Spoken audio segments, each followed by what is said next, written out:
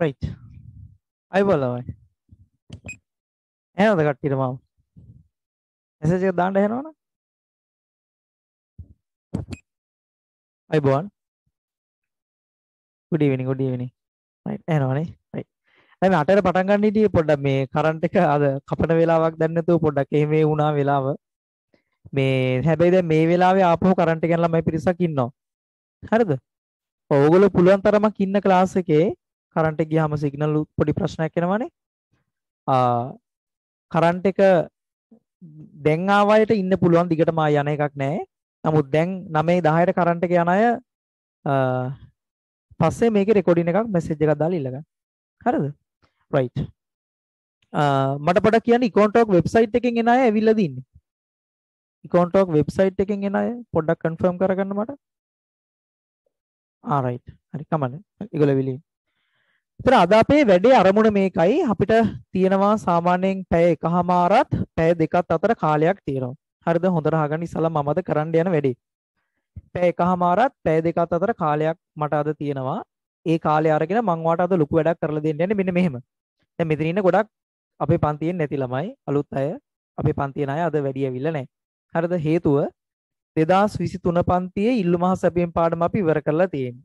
හරිද? ටියුට් හතරක් දුන්නා ඉල්ලුම ඉල්ලුම් නම්‍යතාවය සැපයුම සමතුලිතය. ටියුට් හතරෙන් 2023 අයට අපි ඉල්ලුම හා සැපීම් පාඩම සම්පූර්ණයෙන් ඉවර කළා. පාස් පේපර්ස් ටිකත් එක්ක 2002 විතර ඉඳන් 2020 වෙනකම්. ඊළඟට 22 අයගේ රිවිෂන් පන්තියේ ඉල්ලුම හා සැපීම් පාඩම අපි ඉවර කරලා තියෙන්නේ පාස් පේපර්ස් සේරම දැන් මේ දවස්වල මොඩල් පේපර්ස් උත් එක්කම. හරිද? මේ දවස්වල කරන්නේ බදු සහනාධාර ටිකනේ කරන්නේ. ඉතින් පන්තිය අපි මේ දෙක ඉවර කරලා තියෙන්නේ. දැන් මම ඒකයි කැමති අයට විතරක් අවශ්‍ය නම් එන්න කියලා කිව්වේ. අලුත් අය අහගන්න. ඒතර අද මේ පැය එකමාරක් දෙකත් අතර කාලය අරගෙන මම ඔයාලට සම්පූර්ණයෙන්ම ඉල්ලුම හසපේ පාඩමේ වැදගත් කොටස් ටික කියලා දෙන්නයි යන්නේ. වැදගත් කොටස් ටික. ඒතර වැරදි වැටීමක් ඇති කරගන්න එපා 100%ක් නෙමෙයි. වැදගත් කොටස් ටික ආවරණය කරන්න යන්නේ මේ පාඩමෙන් විභාගයට එනව ළමයි සාමාන්‍යයෙන් සැලකිය යුතු ලකුණු ප්‍රමාණය. ඉල්ලුම හසපේ පාඩමේ. හරිද? A level paper එකේ ඔන්න අහගන්න MCQ paper එකේ පළවෙනි MCQ හතර. පළවෙනි MCQ හතර එන්නේ ළමයි පළවෙනි පාඩම එන්නේ. ආර්ථික විද්‍යාව හැඳින්වීමෙන් තමයි පළවෙනි MCQ හතර එන්නේ. ඊළඟ MCQ හත එන්නේ මම මේ අද කරන කොටසෙන්. ඉල්ලු මහා සැපය. අද කරන කොටසෙන් තමයි විභාග ඊළඟ MCQ හත එන්නේ ළමයි. ඒතර විභාගේ පළවෙනි MCQ 14 ඔයාට කරගන්න පුළුවන් ඔය පළවෙනි පාඩම් දෙකව පාඩම් කරගත්තොත්. හරිද? ඒවා අපි ඉවර කරලා තියෙන්නේ. අ එතන මේ තමයි A level paper එකේ පළවෙනි ලියන ප්‍රශ්නේ. ලකුණු 20ක් තියෙනවා. මේ තමයි A level paper එකේ දෙවෙනි ලියන ප්‍රශ්නේ. එතනත් ලකුණු 20ක් තියෙනවා. ඒතර මම මේ අද පැය දෙක එකමාරක් අතර කාලයක් අරන් කරන ටිකේ මෙන්න මේක තමයි තියෙන්නේ. මේක තමයි තියෙන්නේ. හරිද? right. පොටින්ම අපි වට මේ ෂෝට් නෝට් පොතක් එහෙම දීලා තියෙන්නේ. ඒ ෂෝට් නෝට් පොතේ තියෙන වැදගත් කොටස් ටික තමයි අද මම මෙතන කරන්නේ. හරි. අපි ටික ගාලා පටන් ගමු. මේ වෙද්දි ඔයාලට PDF එකක් හම්බෙලාද තියෙන්නේ? අද කරන පාඩමේ PDF එක හම්බුණාද? yes නම් yes not නැත්නම් no. yes no yes no yes no yes no. නෑ සමහර අයට හම්බෙලා සමහර අයට හම්බෙලා නෑ. right. හරි කමන්නේ. හම්බුන් නැති අය දැන් මම ස්ක්‍රීන් එකේ දානවනේ. ඒතරට අවශ්‍ය දෙයක් තිබ්බොත් ටිකල් නෝට් ඩවුන් කරගන්න. ඒ ටියුට් වල මේවා තියෙනවා නම් අවශ්‍ය නැහැ නිකන් අහගෙන හිටියනම් ප්‍රමාණවත්. PDF එක හම්බුන අය මං හිතන්නේ print out ගන්න ඇති කියලා. print out ගත්තා නම් දැන් ඔයාලට සේරම නෝට් ඩවුන් කරගන්න පුළුවන් අවශ්‍ය තැන්වල. නමුත් print out අරගෙන නැත්නම් මේ ෆෝන් එකෙන් ඔන් කරගෙන ඉන්න ඕනේ බලාගෙන ඉන්න අවශ්‍ය දේවල් මම ස්ක්‍රීන් එකේ දානවා. එතකොට ඔයාලට බලලා නෝට් ඩවුන් කරගන්න පුළුවන් අවශ්‍ය දෙයක් තිබ්බොත් PDF එක හම්බුනේ නැත අය සවුන්දට කියන්නේ හෙට මැසේජ් එකක් දාලා ඔය කොන්ටෝක් නම්බර් එකට ඉල්ල ගන්න මේ PDF එක. එතකොට දෙයි ඔයාලට අනිවාර්යෙන් හරි දැන් ඒක ඕනේ නැහැ මම ස්ක්‍රීන් එකේ දානවනේ. හරි. මම ඔයාලට ඉස්සලාම කියන්න යන්නේ මෙන්න මේක. මං කිව්වා මං අද කරන්නේ මේ පාඩමේ වැදගත්ම කොටස් ටික හරිද? පැයකමාරෙන් දෙකෙන් මුළු පාඩමක්ම කරන්න යන්න වාට සටපට ගාලා රයි හැබැයි මට දන්න උදව් කරන්න ඕනේ චැට් එක මොකද එවරිවන් තියන්නද කොහොම තියන්නද? උත්තර දෙන නිසා කට්ටිය chat එක කොහොම තියන්නද නැත්නම් everyone දාන්නද? මොකද කරන්නේ? ආ මෙහෙම තියන්න. හා කැමති නෑ නේ අනිත් අය දැනගන්නවට. ආ right. ටික ගාලා ඉල්ලුම. ඉල්ලුමක් සම්පූර්ණ වෙන්න කාරණා කීයක්ද තිබ්බද ළමයි? ඉල්ලුමක් සම්පූර්ණ වෙන්න කාරණා තුනක් ඕනේ. ඒ කාරණා තුන එකතු වුණොත් විතරයි ඉල්ලුමක් සම්පූර්ණ වෙන්නේ. හරිද? හොඳයි මට උත්තර එනවා සටපට ගන්න. එකක් තමයි ඉස්සල්ලාම අපිට ඌමනාවක් තියෙන්න ඕනේ. ඌමනාවක් කියන එකේ සිංහල තේරුම තමයි භාණ්ඩයට කැමැත්තක් තියෙන්න ඕනේ. දැන් ගෑස් ගන්න කැමැත්තක් තියෙන්න ඕනේ. ඌමනාවක් තියෙන්න ඕනේ. ඊට පස්සේ ගෑස් ගන්න අපි ළඟ සල්ලි තියෙන්න ඕනේ. සල්ලි තියෙනකොට අපි කියන්නේ ක්‍රය ශක්තියක් තියෙන්න ඕනේ. ක්‍රය ශක්තියක් තියෙන්න ඕනේ. ක්‍රය ශක්තියක් කියන්නේ මොකද ළමයි?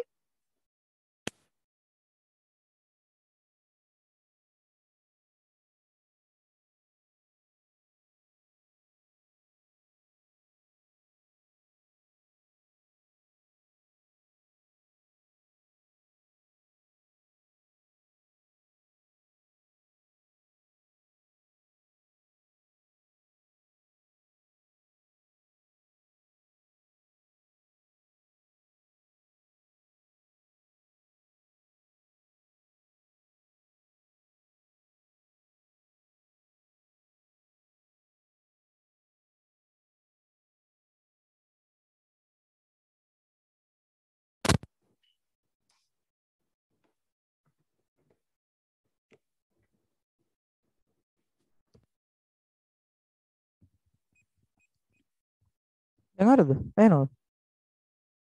හරි. දැන් ළමයි වට ගෑස් ගන්න උවමනාවක් තියෙනවා. හරිද? උණු උවමනාව තියෙනවා, කැමැත්තක් තියෙනවා. ක්‍රය ශක්තියක් තියෙනවා, සල්ලිත් තියෙනවා. නමුත් මිලදී ගන්න සූදානමක් ඔයා තුල නැත්තම් හරිද? ඔයා පොලිමින්ට කැමති නැත්තම් ඉතින් ඔයාට බාන්න ගන්න සූදානමක් නැහැ. එතකොට ඉල්ලුමක් බී වෙන්නේ. ඉල්ලුමක් බී වෙන්න ළමයි මේ කාරණා තුනම එකතු වෙන්න ඕනේ. මේ කාරණා තුනම එකතු වුණොත් අපි එකට කියන්නේ මොන ඉල්ලුමක් කියලා. එතකොට තමයි හරිම ඉල්ලුම අපිට එන්නේ. ඉෆෙක්ටිව් ඩිමාන්ඩ් කියලා අපි කියන්නේ. ඉෆෙක්ටිව් ඩිමාන්ඩ් කියන්නේ සඵල ඉල්ලුමක්. මට උත්තරේ නෙමෙයි. සඵල ඉල්ලුමක් කියලා කියනවා. හරිද? right. එහෙනම් ඉල්ලුමක් සම්පූර්ණ වෙන්න නම් මේ කාරණා තුනම එන්න ඕනේ. මම ඒක PDF එකේ දාලා තියෙනවා. බලමු. මොන අවශ්‍යයි බලාගන්නේ.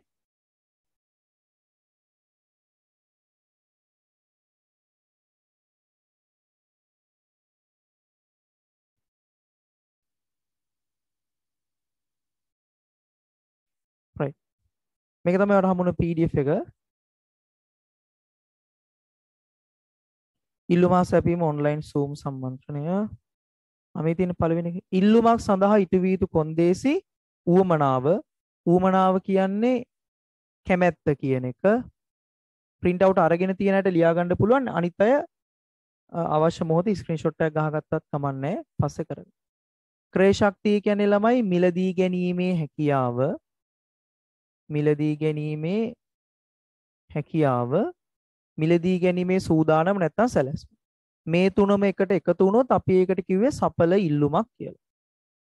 ඔන්න ඉකෝන් වල ඉල්ලුම කියන එක. හරිද? right. ඊළඟට ඉල්ලුම තීරණය කරන සාධක. ළමයි ඉල්ලුමක් සම්පූර්ණ වෙන්න නම් ඔය කාරණා තුන තියෙන්න ඕනේ. ඊළඟට මම ඔයාලට කියන්නේ ඉල්ලුම තීරණය කරන සාධක. ඉල්ලුම තීරණය කරන සාධක. ආ. සංකේත වලින් කියන්නේ කඩේට භාණ්ඩයක් ගන්න ගියාම ඔයා ගන්නවද නැද්ද කියලා බලන්නේ ඉස්සලාම භාණ්ඩේ මොකක් දිහා බලලා PX සලකා බලන භාණ්ඩේ මිල. ඒ මිල දිහා විතරද බලන්නේ වෙන භාණ්ඩවල මිල දිහාත් බලනවද? වෙන භාණ්ඩවල මිල දිහත් බලනවා. ඒකට තමයි අපි කියන්නේ PN කියලා. සම්බන්ධිත භාණ්ඩවල මිල. භාණ්ඩේ ගන්නවද නැද්ද කියන එකට මගේ මොකක් බලපානවද? මගේ ආදායමත් බලපානවා. අපි Y කියලා කියන. ආදායම බලමු. අපි සමහර මෙන්න ලිස්ට් එක පදා. සමහර. හරිද? ඒ මම භාණ්ඩේ ගන්න මට මොකක් තියෙන්නත් ඕනද? කැමැත්තක් තියෙන්නත් ඕනේ. T රුචිකත්වයක් තියෙන්න ඕනේ ටේස්ට් එකක් තියෙන්න ඕනේ. තව වෙළඳපොලේ ඉන්න ගැනුම්කරුවන් සංඛ්‍යාවත් බලපානවා. මම ඒවා පස්සේ ලියන්නම්. වෙළඳපොලේ ඉන්න ගැනුම්කරුවන් සංඛ්‍යාවත් බලපානවා. ඊට අමතරව අනාගතයේ මිල මක් වේද කියන එකත් බලපානවා. අනාගත අපේක්ෂාව. ඊළඟට වෙනත් සාධක. හරිද? මේව දැන් මම පෙන්නනම් ස්ක්‍රීන් එක. මේව තමයි ඉල්ලුම තීරණය කරන සාධක. මම හැබැයි එන්න අකුර ලිව්වේ නෑනේ. එන්න අකුර ලිව්වේ නෑ කියන්නේ මේ තියෙන්නේ වෙළඳපළ ඉල්ලුමට බලපාන සාධකද පෞද්ගලික ඉල්ලුමට බලපාන සාධක. ආ මේ තමයි පෞද්ගලික ඉල්ලුමට බලපාන සාධක. පෞද්ගලික ඉල්ලුමට බලපාන සාධක තමයි මේති. ගැනුම්කරුවන් සංඛ්‍යාවත් දැම්මොත් තව එකක් දාන්න පුළුවන් මම ෂෝට් නෝට් පන්තියක් නිසා නිකන් එන්නකොර විතරක් දාන්න. ගැනුම්කරුවන් සංඛ්‍යාවත් දැම්මොත් දැන් මේක වෙළඳපළ ඉල්ලුමට බලපාන සාධක. මොකද ගැනුම්කරුවන් සංඛ්‍යාව බලපාන්නේ වෙළඳපළ ඉල්ලුමට. හරි. මේ අකුරු ටික මතකයටනේ මම මේ ලිව්වේ. අකුරු මතක නැති අය ඔන්න බලන්න. හැබැයි ඒගොල්ලෝ පාඩම් කරගන්න ඕනේ අකුරු අමතකයි. ඉල්ලුම තීරණය කරන සාධක මේති. සලකා බලන භාණ්ඩයේ මිල සම්බන්ධිත භාණ්ඩවල මිල. ආ සම්බන්ධිත භාණ්ඩ වර්ග දෙකක් තියෙනවා මම ඒක පස්සේ කියන්නම්. ආදේශක භාණ්ඩයි අනුපූරක භාණ්ඩයි. ආ දැන් මට මෙහෙම කියන්න. කොකා කෝලා සහ පෙප්සි කියන්නේ මොන භාණ්ඩද? කොකා කෝලා සහ පෙප්සි කියන්නේ මොන භාණ්ඩ දෙකක්ද? ආ ඒ වගේ ඒවට අපි කියන්නේ ආදේශන භාණ්ඩ. දැන් උදාහරණයක් විදිහට ගත්තොත් Coca Cola Pepsi. Coca Cola සහ පෙප්සි කියන්නේ ආදේශන භාණ්ඩ දෙකක්. හරිද?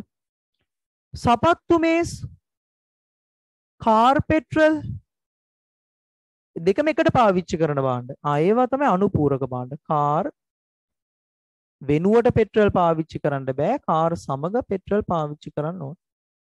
නේ? පෙට්‍රල් නම් මතක් කරන්න එපා නේද? මේ දවස්වල. අවුවට තමයි අපි කියන්නේ අනුපූරක භාණ්ඩ. පාරිභෝගික ආදායම පාරිභෝගික රුචිය අනාගත අපේක්ෂා ගැනුම්කරුවන් සංඛ්‍යාව වෙනස් හරිද right දැන් එක ළමයි සලකා බලන භාණ්ඩයේ මිලනේ මේ අනිත් ඒවට අපි කියන්නේ මිල හැර මොන සාධක කියලාද අපි පොදුවේ කියවුවොත් මේවට දැන් පළවෙනි එක සලකා බලන භාණ්ඩයේ මිල. ඒතර අපි අනිත් ඒවාට පොදුවේ සේරම කියන්නේ මිල හැර අන් සාධක කියලා. හරිද? right. ඔන්න දැන් ස්ක්‍රීන්ෂොට් එක ගහගන්න අය ගහගන්න අර ඉංග්‍රීසි අකුරු මතක නැති අය විශේෂයෙන් ඈ right දැන් ළමයි මේ අන්සාධක නිකමට හරි ස්ථාවරයි කියලා හිතුවොත් මේ මිල හැර අන්සාධක ස්ථාවරයි කියලා හිතුවොත් මෙන්න මේ මිල px වැඩි වුණ ගමන් ඉල්ලුම් ප්‍රමාණය QD කියන්නේ ඉල්ලුම් ප්‍රමාණය මිල වැඩි වුණාම ඉල්ලුම් ප්‍රමාණය මොකද වෙන්නේ මිල වැඩි වුණාම ඉල්ලුම් ප්‍රමාණය අඩු වෙනවා. මිල වැඩි වුණාම ඉල්ලුම් ප්‍රමාණය අඩු වෙනවා. කියන්නේ මිල සහ ඉල්ලුම් ප්‍රමාණය අතර මොන සම්බන්ධයක්ද ඔයාලට පේන්නේ?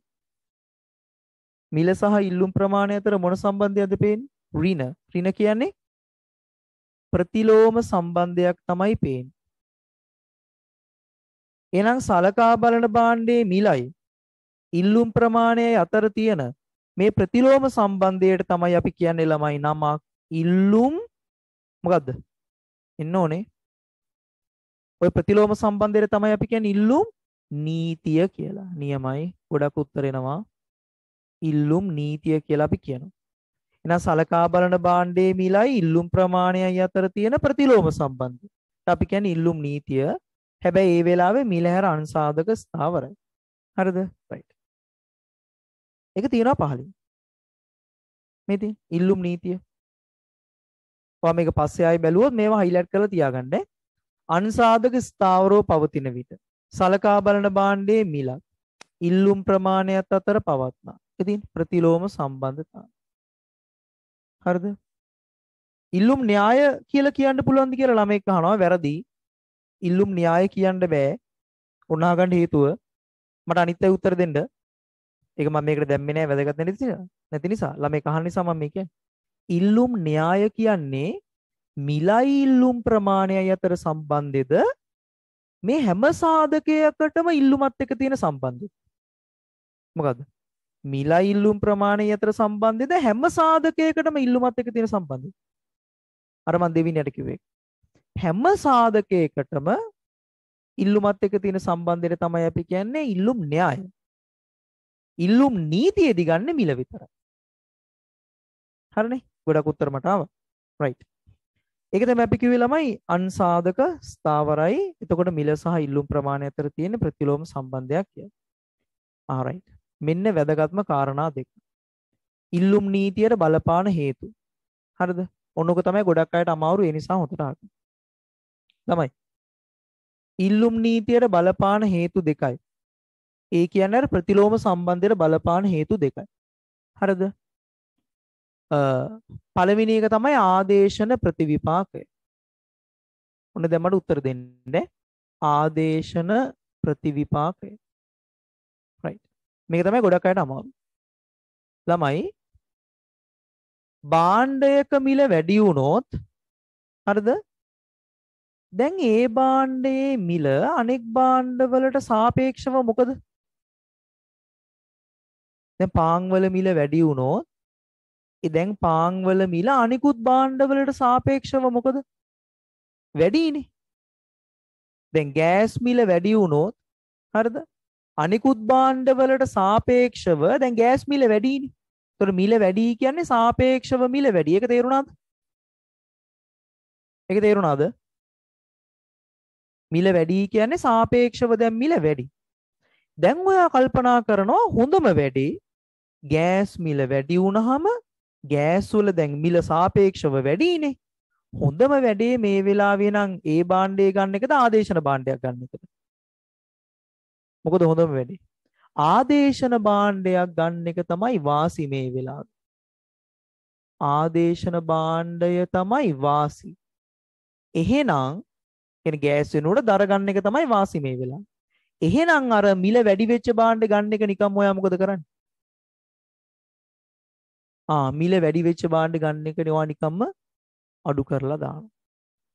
හරිද ප්‍රතිලෝම සම්බන්ධය පේනවද ඔයාලට? මිල වැඩි වුණාම ඉල්ලුම් ප්‍රමාණය අඩු වෙනවා.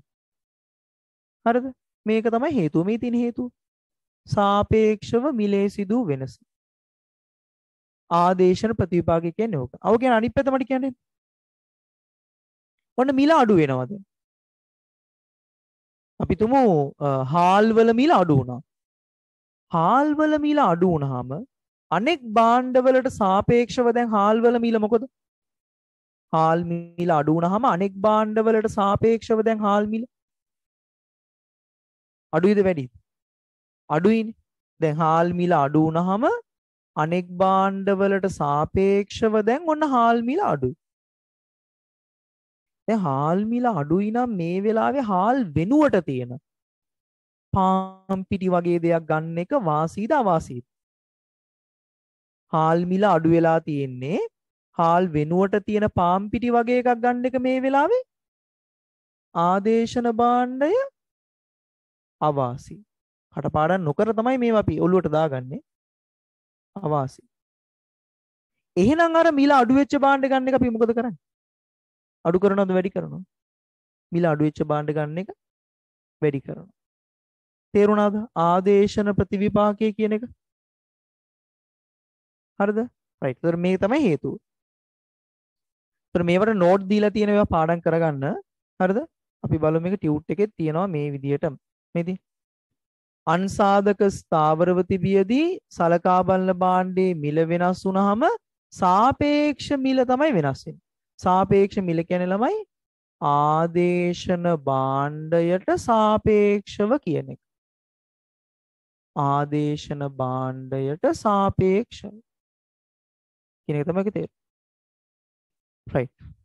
එතන මිල වැඩි වුණාම සිද්ධිය වෙනමයි මිල අඩු වුණාම සිද්ධිය වෙනමයි ඔයාලට දීලා තියෙනවා. මම අර බෝඩ් එකේ ලිව් එකම තමයි. හරි. දැන් එන ආදායම් ප්‍රතිවිපාක. ඒකත් මම ওই විදිහට ලස්සන කියලා දෙන්නම් ඔයාලට. ආදායම් ප්‍රතිවිපාක. ආදායම් ප්‍රතිවිපාක right ඔන්න දැන් සිද්ධිය භාණ්ඩ මිල වැඩි වුණාම ඔයාගේ ක්‍රය ශක්තිය මොකද වෙන්නේ ළමයි? භාණ්ඩ මිල වැඩි වුණාම ඔයාගේ ක්‍රය ශක්තිය මොකද වෙන්නේ? මිලදී ගැනීමේ හැකියාව අඩු වෙනවා. මිලදී ගැනීමේ හැකියාවට අපි කියන්නේ මූල්‍ය ආදායමද මූර්ත ආදායමද ක්‍රය ශක්තියට අපි කියන්නේ. මිලදී ගැනීමේ හැකියාවට අපි කියන්නේ මූර්ත ආදායම. දන්නේ නැති අය ලියලා තියාගන්න. මිලදී ගැනීමේ හැකියාවට කියන්නේ මූර්ත ආදායම. ඒතර භාණ්ඩ මිල වැඩි වුණාම ඔන්න ක්‍රය ශක්තිය අඩු වෙනවා. ඉතින් අනේ මූර්ත ආදායම අඩු වුණාම අපි සාමාන්‍යයෙන් කරන්නේ භාණ්ඩ ගන්න එක වැඩි කරනවද භාණ්ඩ ගන්න එක අඩු කරනවද? දැන් ක්‍රය ශක්තිය අඩුයි. ආ එතකොට අපි කරන්නේ ඉල්ලුම් ප්‍රමාණය අඩු කරනවා. හරිද? මේ තියෙන ප්‍රතිලෝම සම්බන්ධ. මිල වැඩි වුණා ඉල්ලුම් ප්‍රමාණය අඩු. හරිද? මේක අනිත් පැත්ත. මිල අඩු වුණාම මොකද වෙන්නේ ක්‍රය ශක්තිය? මිලදී ගැනීමේ හැකියාව භාණ්ඩ මිල අඩු වුණාම දැන් ඒක මිලදී ගැනීමේ හැකියාව වැඩි වෙනවා. එතකොට භාණ්ඩ ගන්න ප්‍රමාණය මොකද කරනවා? වැඩි කරනවා. වැඩි කරනවා. මේ තියෙන්නේ මීලාඩු වුණාම ඉල්ලුම් ප්‍රමාණය වැඩි වෙනවා. ඒතර මේක තමයි හේතුව මේ තියෙන්නේ. ওই සිද්ධියට අපි කියන ආදායම් ප්‍රතිපක්. හැබැයි අහගන්න. මේක මෙතනින් ඉවර නෑ. ඔයාට මතකද මෙතන මම පොඩි වගුවක් දාලා පෙන්නුව ඔයාට මේ ටියුට් එකේ රිවිෂන් හරි තියරි හරි සාමාන්‍ය භාණ්ඩ, බාල භාණ්ඩ, ගිෆන් භාණ්ඩ අනුකූල වේ අනුකූල නොවේ කියලා පොඩි වගුවක් දැම්මේ. ඒ වගුව අනිවාර්යෙන් පාඩම් කරගන්න. මම උදාහරණත් එක ලස්සනට දීලා තියෙන්නේ වගුව හොඳට බලා ගන්න අනිවාර්යයි. හරි. ඒක අද අපිට කරන්න වෙලාවක් නැහැ නේ. Right. ඔන්න ඒක තමයි මේ තියෙන්නේ මේ. අන්සාධක ස්ථාවරෝ පවතින විට භාණ්ඩේ මිල වෙනස් වුනහම ළමයි මූර්ත ආදායම වෙනස් වෙනවා. එතකොට අපි ඉල්ලු ප්‍රමාණය වෙනස් කරනවා. හරිද? මූර්ත ආදායම කියන්නේ ක්‍රය ශක්තිය. ක්‍රය ශක්තිය. ඔන්න ඉල්ලුම් නීතියට බලපාන හේතු දෙක. ආ දැන් ඔයා මට මෙන්න මේක තමයි කියන්න ඕනේ. හැබැයි මෙතනට ඇවිල්ලා. right. ආ මම මෙතනට මෙන්නම්කෝ. දන්නේ තිය ඉන්නවා ඇතිනේ. හරි. ඔන්න ඉල්ලුම තීරණය කරන සාධක. මම ලියන්නම්. පළවෙනි එක තමයි සලකා බලන භාණ්ඩයේ මිල. දෙවෙනි එක තමයි සම්බන්ධිත භාණ්ඩවල මිල. හැබැයි සම්බන්ධිත භාණ්ඩ වල මිල කිව්වහම එතන භාණ්ඩ වර්ග දෙකක් අපිට හම්බුණා. ආදේශන භාණ්ඩයි අනුපූරක භාණ්ඩයි. මම එළියන්නේ දන්නේ නැති හිටියොත් කියලා. ඊළඟට ආදායම බලපානවා ඉල්ලුමට රුචිය බලපානවා ඉල්ලුමට ගැනුම්කරුවන් සංඛ්‍යාව බලපානවා ඉල්ලුමට අනාගත අපේක්ෂා බලපානවා ඉල්ලුමට. අනාගත අපේක්ෂා. ඔන්න දැන් මමට උදව් කරන්න මෙහෙම. හරිද?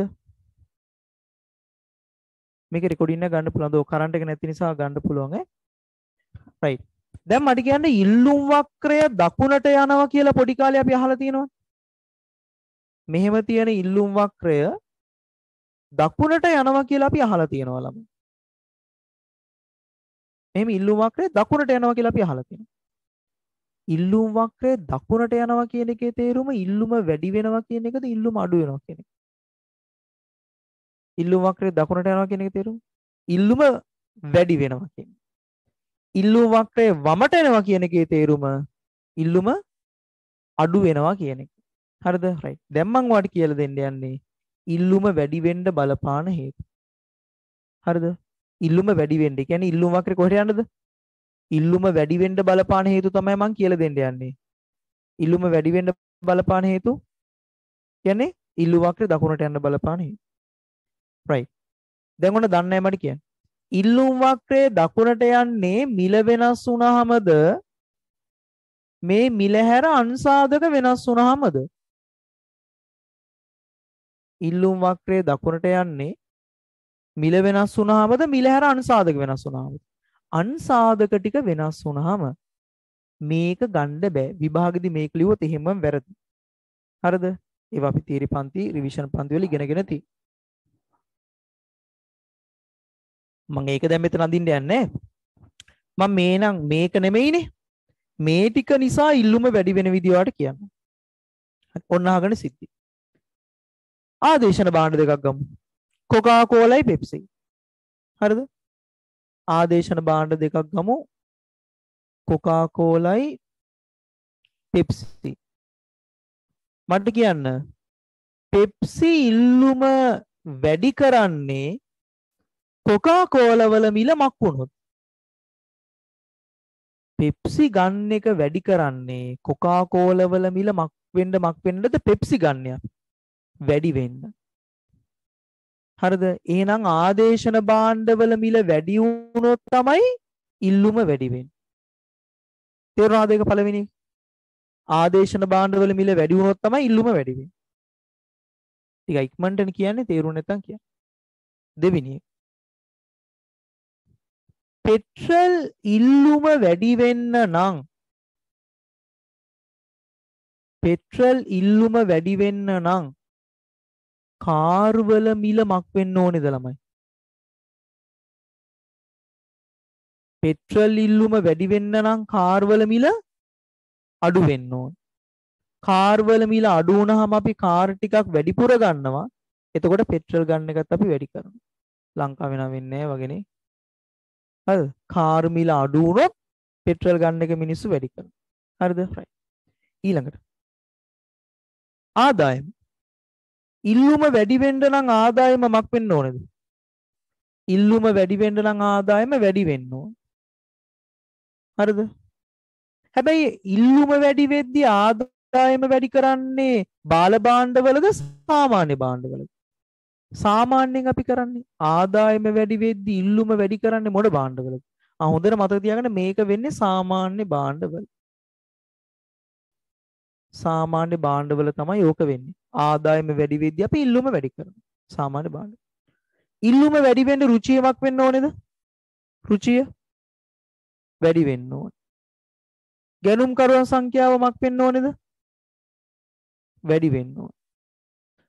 අපි ඉල්ලුම වැඩි කරන්නේ භාණ්ඩයක අනාගත මිල මක් වෙයි කියලා හිතුවොත්.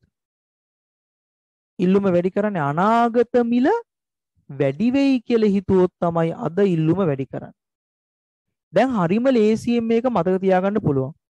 ඉල්ලුම වැඩි වෙන්නේ හැම සාධකයක්ම වැඩි වුණොත් එක්කෙනෙක් හැර. කවුරු හැරද? ඉල්ලුම වැඩි වෙන්නේ හැම සාධකයක්ම වැඩි වුණොත් වැඩි වෙන්න ඕනේ වැඩි වෙන්න ඕනේ වැඩි වෙන්න ඕනේ වැඩි වෙන්න ඕනේ වැඩි වෙන්න ඕනේ කාව හැරද අනුපූරක භාණ්ඩ හැර දෙක නේද අනුපූරක භාණ්ඩවල මිල හැර අන් හැම එකක්ම වැඩි වුණොත් තමයි ඉල්ලුම වැඩි වෙන්නේ එතකොට මේක අනිත් පැත්ත දැන් මම ඔයාලට කියන්න ඕනේ ඉල්ලුම අඩු වෙන්න නම් මේ හැම එකක්ම මමක් වෙන්න ඕනේ ඉල්ලුම අඩුවෙන්ඩ නම් මේ හැම එකක්ම අඩුවෙන්ඩ ඕනේ අනුපූරක හැර. ඒ මතක තියාගන්න පුළුවන්නවාට. හරිද? මෙතන මට හැබැයි අමතරව කියලා දෙන්න තියෙන්නේ මෙන්න මේක විතරයි. ගණ්ඩකො නිකමට බාල භාණ්ඩය. බාල භාණ්ඩයක ඉල්ලුම වැඩි වෙන්නේ ආදායම මක්වුණොත්. බාල භාණ්ඩයක ඉල්ලුම වැඩි වෙන්නේ ආදායම මක්වුණොත්. ආ අඩු වුණොත් අන්න එතනත් පොඩ්ඩක් අනිත් පැත්තට යන්න. දැන් උදාහරණයක් විදියට හරිද? අපි ගමු කාර් එකේ යන එක්කෙනෙක්. කාර් එකේ තමයි යන්නේ මේ දවස්වල. ආදායම අඩු වෙනවා. ආදායම අඩු වෙන්න අඩු වෙන්න යා බස් එකේ යන එක මොකද කරන්නේ? කාර් එකේ දැන් මෙච්චර කල් ගියේ. දැන් ආදායම අඩු වෙනවා. දැන් ආදායම අඩුවෙන්ට අඩුවෙන්ට බස් එක යන එක වැඩි කරනවා. ඒ කියන්නේ යාට බස් එක යන එක මොන බාණ්ඩයක්ද? ආදායම අඩුවෙන්ට අඩුවෙන්ට බස් එකේ තමයි යන්නේ. එයාට ඒක මොන බාණ්ඩයක්ද? සාමාන්‍ය බාණ්ඩයක්ද බාල බාණ්ඩ? බාල බාණ්ඩ. ආදායම අඩු වෙද්දි බස් එක යන එක වැඩි කරනවා. හැබැයි මෙහෙම කරනවා සමහර අය. ආදායම වැඩි වෙද්දි මෙච්චර කල් බස් එකේ ගිය අය දැන් වාහනයකට මාරු වෙනවා. ආදායම වැඩි වුණාම වාහනයකට මාරු වෙනවා. දැන් ඒක මොන බණ්ඩේද? වාහනේ බොඩ බණ්ඩේද? වාහනේ මොන බණ්ඩේද? ආදායම වැඩි වෙද්දි වාහනයකට මාරු වෙනවා. අන්න එතන සාමාන්‍ය භාණ්ඩ. වාහනය කියන්නේ යට සාමාන්‍ය භාණ්ඩ. හරිද? ඒවා නෝට් දීලා තියෙන්නේ. නිකන් දාව. කරන්ට් එක නැතුව සමහර අමාරුවෙන් තමයි ඉන්නේ. පුළුවන් තරමක් ඉන්න. right. මම මෙතන ඔයාලට කිව්වේ දකුණට යන්න බලපාන හේතු විතරයි නෙමෙයි. හරිම ලේසි. දකුණට යනවා කියන්නේ ඉල්ලුම වැඩි වෙනවා කියන එක. මේ හැම එකක්ම ඉහළ යන්න ඕනේ මේ. වැඩි වීම. වැඩි වීම. ඉහළ යාම. අපාරිභෝගිකයාගේ බදු අඩු කළොත්නේ අපි ඉල්ලුම වැඩි කරන්නේ. සහනාධාර වැඩි කළොත්නේ ඉල්ලුම වැඩි කරන්නේ. ඒක එච්චර අදාළත් නැහැ සිලබස් එකට. මෙන්න මෙතන මේක තමයි ආමුතුවෙන් මතක තියාගන්න ඕනේ. ඉල්ලුම ඉහළ යන්නේ සේරම ඉහළ ගියොත් හැබැයි අනුපූරක භාණ්ඩවල මිල පහළ යන්න ඕනේ. සහාර බාල භාණ්ඩයක නම් ආදායම අඩු වෙන්න ඕනේ. ඔන්න ඔය දෙක විතරයි අනිත් පැත්තට යන්නේ. ඉල්ලුම වැඩි වෙන්නේ හැම එකක්ම වැඩි වුණොත්. හැම එකක්ම වැඩි වුණොත් මේ ඉහළ යන්න ඕනේ. හැම එකක්ම වැඩි වෙන්න ඕනේ. ඔය රතු පාටින් තියෙන දෙක හැර. හත්වෙනි කෙච්චර වැදගත් එකක් නෙමෙයි. නිකන් බලන්න. පාරිභෝගිකයෙක් බදු අඩු කළොත් නේ කොහොමත් අපි ඉල්ලුම් වැඩි කරන්නේ. සහනාධාර වැඩි කරන්න එපා. ඉතින් ඉල්ලුම් වක්‍රේ වමට විතෙන් වෙන්න බලපාන හේතුව ඕකේ අනිත් පැත්ත. හරි. ඔන්න ඕක තමයි ඉල්ලුමට බලපාන කොටස් ටික. තේරුණාද? හරි. අපි ඉල්ලුම පාඩම ළමයි ලොකු ටියුට් එකක් මාස ගාණක් කළා. ඔයකේ ඔන්න ඔය වැදගත් කොටස් ටික අනිවාර්යෙන් බලන්න. මතක් වෙනවද පරණ ඒවා? පරණ කොටස් ටික මතක් වෙනවද? PDF එක දාන්න පුළුවන්ද? PDF එක ළමයි දැන් ඒ කියන්නේ දැන් ඔයාගේ අතට PDF එක ආවා කියලා මේ තේරුමක් නැහැනේ දැන් පාඩම අහන්නයි ඔක මාරුවෙන් මාරුවට බලන්නයි තේරුමක් නැහැ.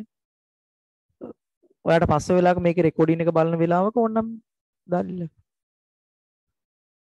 ෂෝට් නෝට් පොත ක්ලාස් එකෙන් නැති අයට ගන්න කොහොමද? ක්ලාස් එකෙන් නැති අයට නම් ගන්න විදිහක් නැහැ ළමයි. ක්ලාස් එන අයට තමයි ගන්න පුළුවන්. හරිද? අද අලුතෙන් ආවයි මේ සම්බන්ධ වෙන්නේ කොහොමද කියලා අහනවා. අර ඔයගොල්ලෝ chat කරපු මැසේජ් මේ නම්බර් එක තියෙනවනේ. ගොඩක් දෙනා chat කරේ මෙන්න මේ නම්බර් එකටනේ. 689යි 20යි 59 අපි අලුත් මාසයක් නේ මේක. අපි ළමයි අලුතෙන් පාඩමක් පටන් ගත්තා. 2023ට පටන් ගත්ත අපි බදු සහනාධාර පාඩම රාජ්‍ය මැදිහත් වීම කියන එක. හරිද? මේක තමයි 12 වසරේ තුන්වෙනි පාඩම. හැබැයි ඔයාට 12 වසරේ තුන්වෙනි දැන් මේකේ මුල් ටිකේ රෙකෝඩින්ග්ස් බලන්නත් පුළුවන්. අපේ පන්ති කවුස 1300යි හරි? 1300ක් ගෙවුවාම ටියුට් පහක් ගෙදරට එනවා 2023 අයට. ඉල්ලුම සැපීම මේ අද කරන පාඩමේ ටියුට් හතරක් තියෙනවා. ඊළඟට මේ පාඩමේ ටියුට් එක තියෙනවා ලොකු ටියුට් එකක් තියෙනවා. හරිද? මේ ටියුට් පහක් සේරම ගෙදරට එනවා. ඒ ටියුට් පහේම රෙකෝඩින්ග්ස් එක බලන්න පුළුවන්. හරිද? 2022 අයට අපි අලුත් පාඩමක් පටන් ගන්නවා බැංකු තීරි පන්තිවල තීරි පන්තිවල අපි පටන් ගන්නවා බැංකු මුදල් මැවීම පාඩම. බැංකු. හැබැයි ඔයා බැංකු පාඩමට ආවොත් ළමයි මේ මාසේ ඉඳන් ඔයාට මුදල් පාඩමත් ඉල්ල ගන්න පුළුවන්.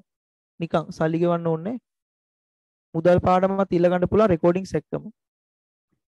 රිවිෂන් අපි මේ දවස්වල කරන්නේ අර 2023 යාගේ පාඩමම තමයි රාජ්‍ය මැදිහත්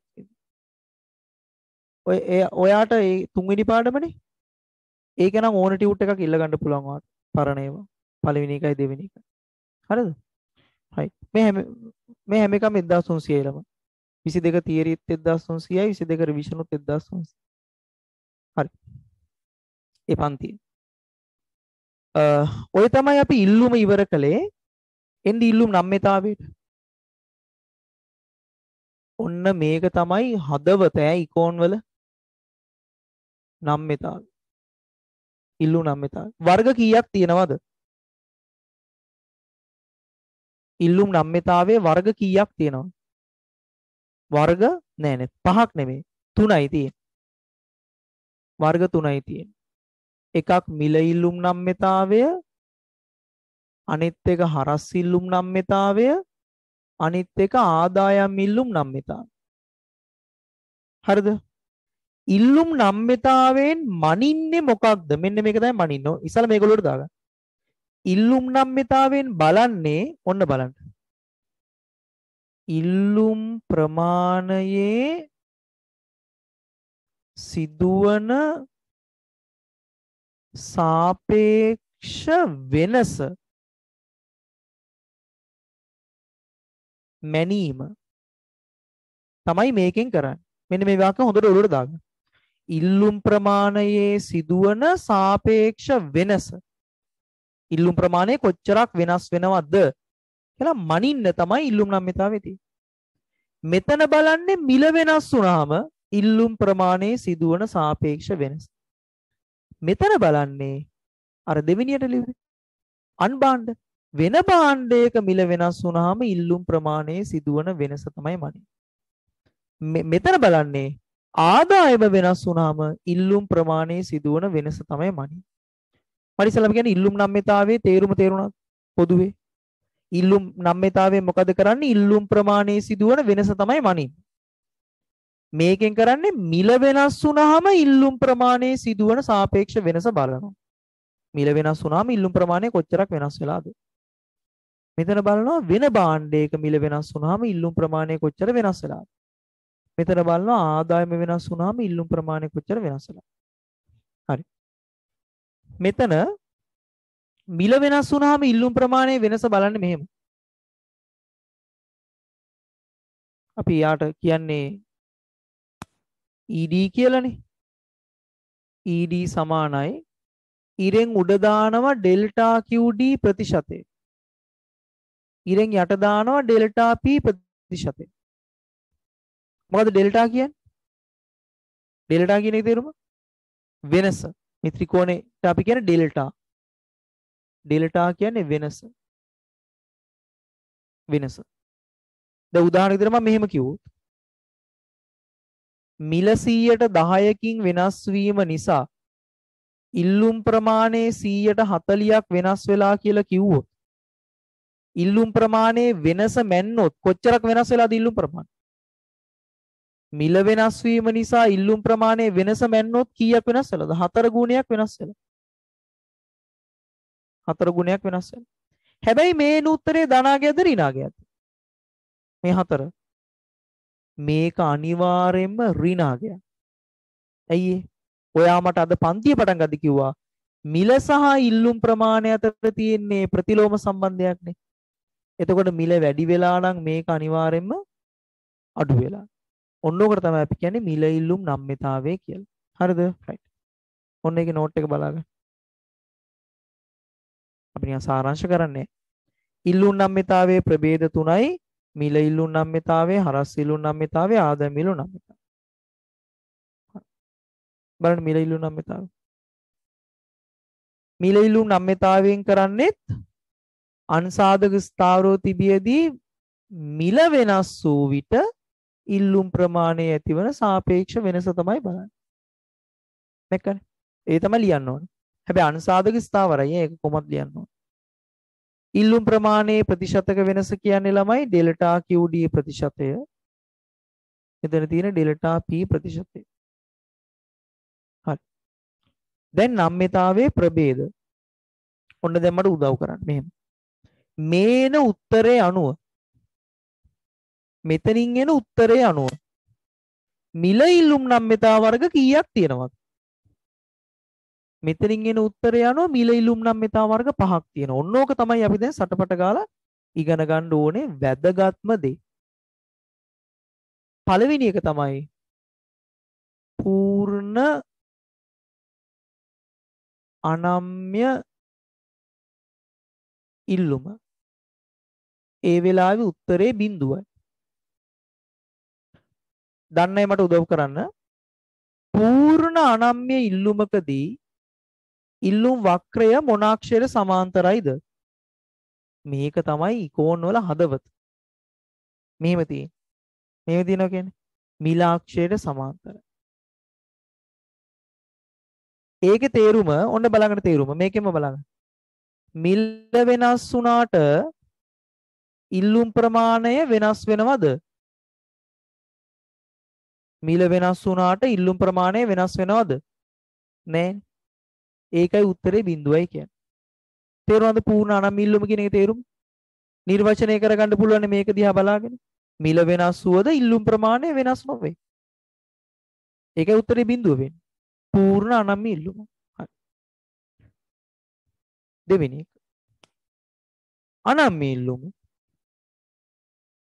අනම්‍යයි කියන්නේ ළමයි බිඳුව නෙමෙයි. එකට අඩුයි. එකට අඩුයි කියන්නේ කීයයි කීයයි අතර කියන එකයිද?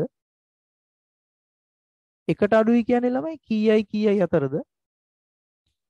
බිඳුවයි එකයි අතර.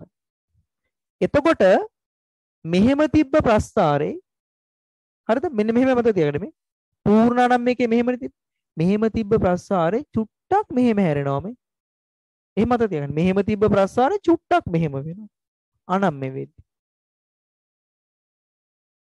ආ ඒකේ තේරුම ඔන්න මං ගන්නම් මිල 10යි ප්‍රමාණය 100යි ඔන්න මිල වැඩි වුණා ප්‍රමාණය මෙතනට ඇවි. දැන් මට බලලා කියන්න මිල වෙනස් වුණාම ඉල්ලුම් ප්‍රමාණය වෙනස් වෙන්නේ විශාල ප්‍රතිශතයක්ද කුඩා ප්‍රතිශතයක්ද? ඊතල දෙක දිහා බලන්න. මිල වෙනස් වුණාම ඉල්ලුම් ප්‍රමාණය වෙනස් වෙන්නේ කුඩා ප්‍රතිශතය. කලින් එකේ මොකද උනේ? මිල වෙනස් වුණාට ඉල්ලුම් ප්‍රමාණය වෙනස් වුණේ නෑ. දැන් මොකද වෙන්නේ? මිල වෙනස් වුණාම ඉල්ලුම් ප්‍රමාණය පොඩ්ඩක් වෙනස් වෙනවා. තේරෙනවද? right. ඊළඟට ඒ කියන නම් එකේදී තුන්වෙනි එක තමයි ඒ කියනම්. එතන වෙන්නේ මෙහෙම එකක්. ඒ කියනම්.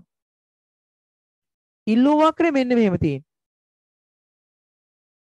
උත්තරේ එකයි. මොකද්ද මේ අපි හැඩේරි කියන නම ළමයි? අන්න ඔය ඉන්නේ නියමයින්. මතකයි නේද සමහර අය. මේ හැඩයට අපි කියන්නේ ඍජු කෝණාශ්‍රාකාර බහුවලයක්. ඍජු කෝණ මතකයිනේ ගොඩක් අයට. පාඩම් කරලාද මතක නැත්නම් පන්ති ඇතුලේ අහන් ඉඳලාද මතක? කොහොමද මතක? මතකයි? වකරේ වා යන පන්තියක මොකක් හරි පාඩම් කළා හොඳයි. ඍජු කෝණාශ්‍රාකාර බහුබලයක් කියලා කියනවා. හරිද? ආ විභාගෙ තිබ්බනේ ඒ නිසා පාඩම් කරන්න ඉතින් කට්ටිය. ආ දැන් මෙතන මොකද්ද වෙන්නේ? මිල 10 දී ප්‍රමාණය 100යි. මිල 20 දී ප්‍රමාණය මෙතන 50 වෙනවා. දැන් මේක පොඩි විශේෂ ලක්ෂණයක් තියෙනවා. මට කියන්නේ පාරිභෝගිකයාගේ පැහැදම පැහැදම කියන්නේ මොකද පාරිභෝගිකයාගේ? පැහැදම කියන්නේ මොකද ළමයි පාරිභෝගිකයාගේ? වියදම. දැන් නැති එළියට තියාගන්න පැහැදම කියන්නේ වියදම. සාමාන්‍යයෙන් වියදම ගන්නේ මිල වැඩි කිරීම ප්‍රමාණයනේ. මිල ප්‍රමාණයෙන් වැඩි කළාමනේ අපි පැහැදම ගන්න. දැන් මට කියන්නේ මෙතන රුපියල් 10 දී භාණ්ඩ ප්‍රමාණය 100යි කියන්නේ පැහැදම කීයද? පාරිභෝගිකයාගේ පැහැදම කීයද? 1000යි. දැන් මිල 20 දී එතන අපිට 50 නේ ඇවිල්ලා තියෙන්නේ. දැන් පෑදම කීයද? ඒත් 1000යි. ඒ කියන්නේ ඒ කියනම්ය තියෙන වෙලාවක ඉල්ලුම් වක්‍රයේ බහුවලයා මිල කොච්චර වැඩි වුණත් පාරිභෝගිකයාගේ පැහැදම වෙනස් වෙනවද වෙනස් වෙන්නේ නැද්ද? වෙනස් වෙන්නේ නැහැ. හරිද? right. එහෙනම් මට ඔහොම මෙන්න මෙතනට කලින් එකට අනම් එකට මට දැන් මේකේ පැහැදම අරගෙන කියන්න. මිල වැඩි කිරීම ප්‍රමාණය 10 වැඩි කිරීම 100. 10 වැඩි කිරීම 100. කීයද පැහැදම? අරගෙන කියන්න 1000යි. 1000යි. 20 වැඩි කිරීම 80. 20 වැඩි කිරීම 80. දෙවරක්කට 16 කියන්නේ 1600. ඔන්න මෙතන ලක්ෂණ. මෙතන මිල වැඩි වුණාම අර පාරිභෝගිකයාගේ පැහැදම මොකද උනේ? මිල වැඩි වුණාම පැහැදම වැඩි වුණා. 1000ට තිබ්බ එක 1600. ඒ කියන්නේ මිලයි පැහැදමයි අතර මොන සම්බන්ධයක්ද පේන්නේ? මේක අමතක කරන්න එපා. ඒ ලෙවල් ඉවර වෙලා අවුරුදු 5ක් යනකම්. හරිද? අනුලෝම සම්බන්ධයක් තමයි තියෙන්නේ. එහෙනම් හොඳට මතක තියාගන්න. මෙන්න මේක. මේ අනම්‍ය අකුරෙන් මතක තියාගන්න. අනම්‍ය වේලාවක මිලයි පැහැදමයි අතර අකුරෙන් මතක තියාගන්න. අනුලෝම සම්බන්ධයක් තමයි තියෙන්නේ. අමතක කරන්න එපා ජීවිතේ. MCQ පේපර් එකේ අනිවාර්යෙන් ඕක අහන්න. 2023 අහනවා 2022 අහනවා 2024 අහනවා. මේක අනිවාර්යෙන් විභාගේ අහනවාමයි. MCQ පේපර් එකේ අනිවාර්යෙන්. ලොවෙත් අහන්න. හරිද? එහෙනම් මිල වැඩි වුණාම පැහැදමත් වැඩි වුණා අනුලෝම සම්බන්ධයක් තියෙන්නේ මිලයි පැහැදමයි අතර අනම් ඉල්ලුමක් තියෙන වෙලාව. ඒකීය වෙලාවක මිල වැඩි වුණා කියලා පැහැදම වෙනස් වුණේ නේ. ආයෙනම් ඊළඟ එක ටිකම් නිකම් වාට කියන්න පුළුවන්.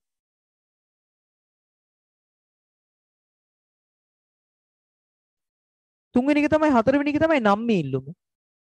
නම් ඉල්ලුම කියන්නේ උත්තරේ එක නෙමෙයි මොකද එකට වඩා වැඩි. දැන් මේ හැඩය කොහොමද මතක තියාගන්නේ? ඔන්න බලන්න. හැඩේ මතක තියාගන්නේ මෙහෙමයි මේ. කඩපාඩම් කරන්න එපා. මෙන්න. පූර්ණම අනම්‍ය නම් මෙහෙම. හරිද? අනම්‍ය නම් චුට්ටක් මෙහෙම වුණා. ඒ කියන බහුවලයක්. නම්මි වුණාම මේක තවත් මෙහෙම වෙනවා.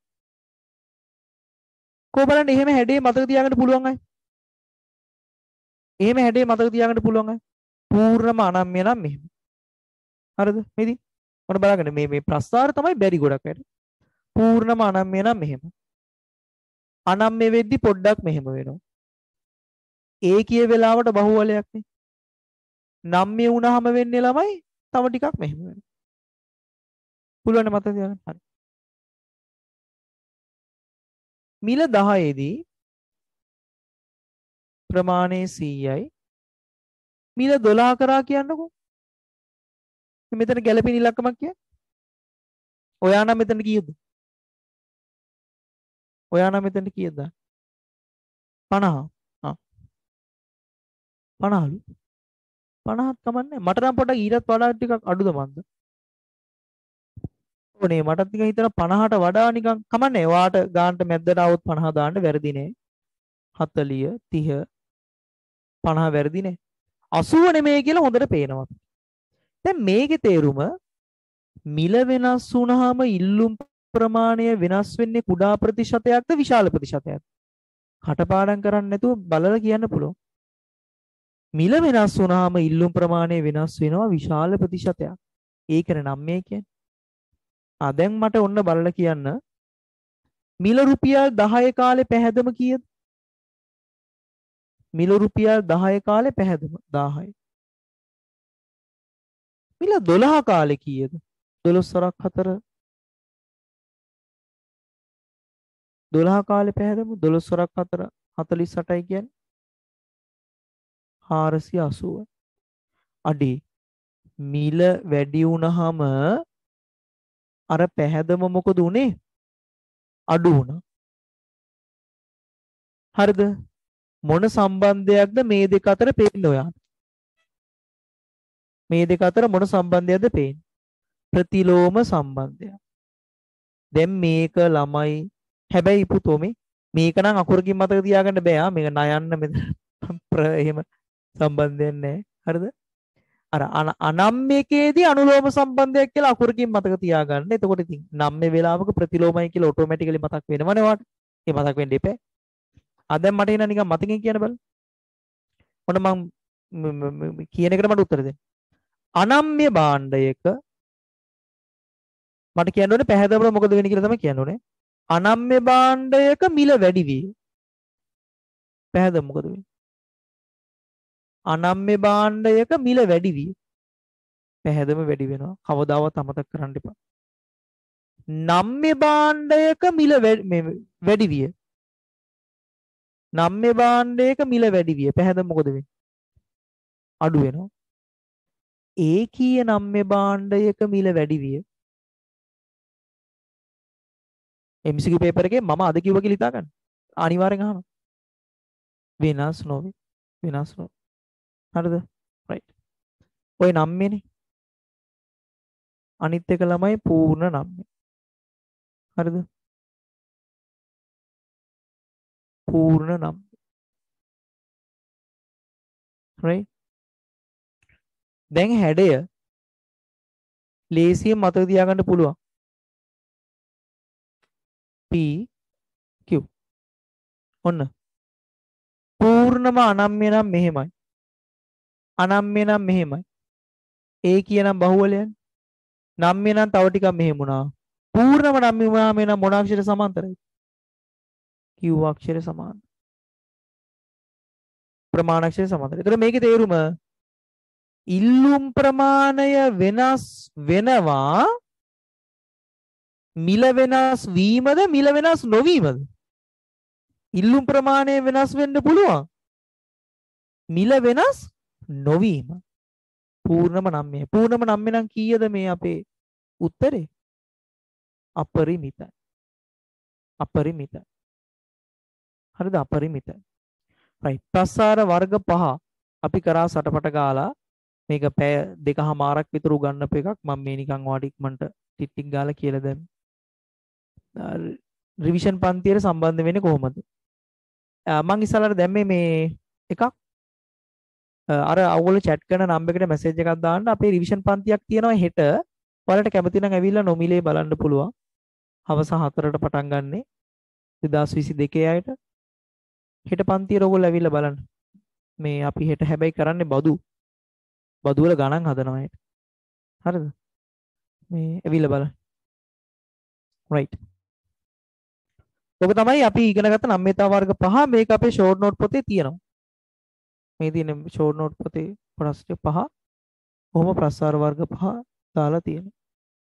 හරිද? right. ඕලමයි ටියුට් රිවිෂන් ටියුට් මේ වෙද්දි මේ අපේ රිවිෂන් පන්තියේ ටියුට් 10යි තියෙන්නේ. රිවිෂන් පන්තියේ ටියුට් 10යි තියෙන්නේ ටියුට් 10න් සිලබස් එක ඉවරයි.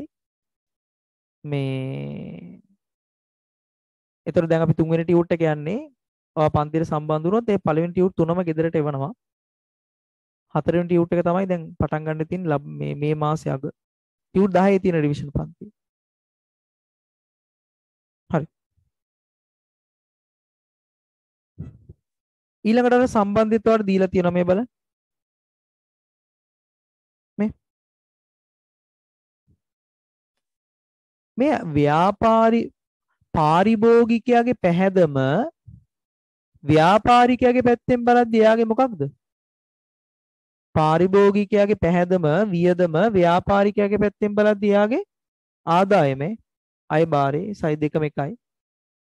දැන් මෙතන අපිට පේන්නේ අනුලෝම සම්බන්ධයක් නේ. අනුලෝමයි. මම මෙන්න මේක තමයි ඔයාලට අකුරෙන් මතක තියාගන්න කිව්වේ. අයන්න අයන්න හරිද? නම්ය පාඩමේ නම් තියෙන්නේ ප්‍රතිලෝම සම්බන්ධය. ප්‍රතිලෝම සම්බන්ධයක්. ඒ කිය වෙලාවේ සම්බන්ධයක් නැහැ. වෙනස් නොව. right. ඔන්න ඔතනින් මම මිලෙල්ලු නම්‍යතාවයට අදාළ කොටස් ටික ඉවර කළා. ඔයා ඊළඟට මෙතන ආයේ පාඩම් කරගන්න ඕනේ ළමයි ගෙදර ගිහිල්ලා හරිද? නම්‍යතාවයේ තියෙන ප්‍රයෝජන ටිකයි හරිද? ලිය තියාගත්තත් කමක් නැහැ ඒක අනිවාර්යෙන් පාඩම් කරන්න ළඟදී ඇහුවේ නෑ එක්සෑම් එකේ අහයි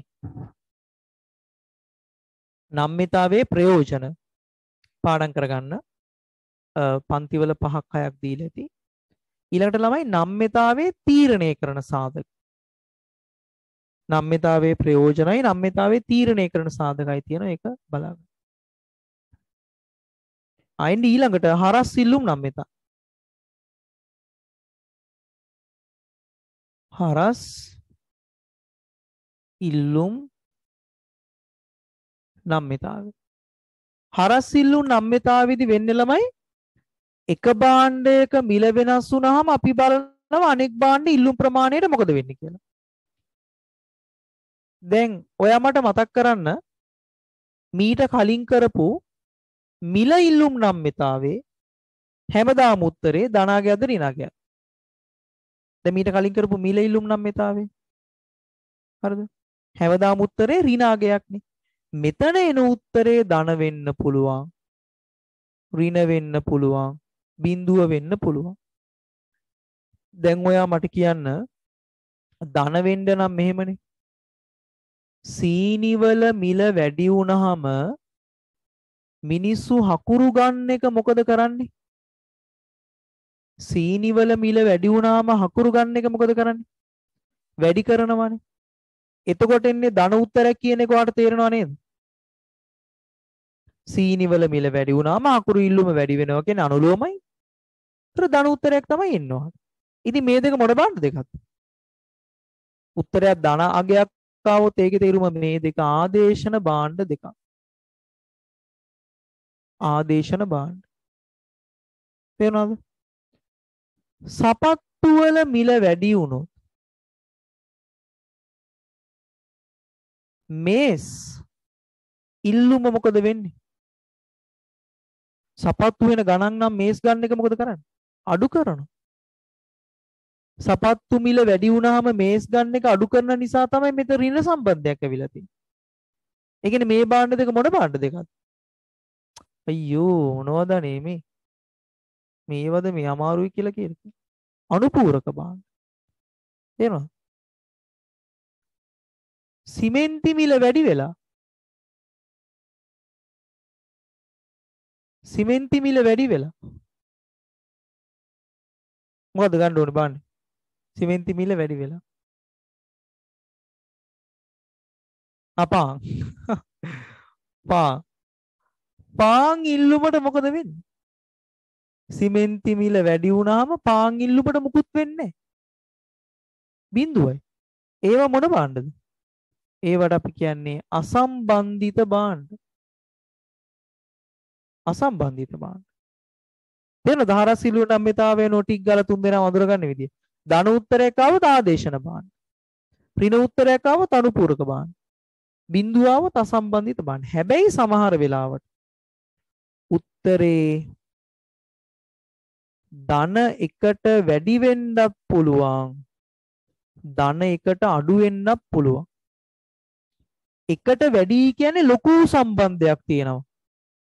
එකට වැඩි කියන්නේ මේ ලොකු සම්බන්ධයක් තියෙනවා. මේ දෙක අතරත් ලොකු සම්බන්ධයක් තියෙනවා. ඒ කියන්නේ මොන ආදේශනද ඒවා සමීප ආදේශන. එකට අඩුයි කියන්නේ එච්චර සම්බන්ධයක් නැහැ. ඒවට අපි කියන්නේ දුරස්ත ආදේශන.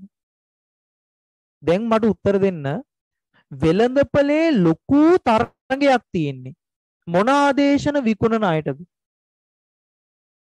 ආ මෙතන තරඟේ වැඩි. අපිට ඉඩමදි වගේ නිසා මම ස්ක්‍රීන් එක ෂෙයා කරන්නම්. හරිද?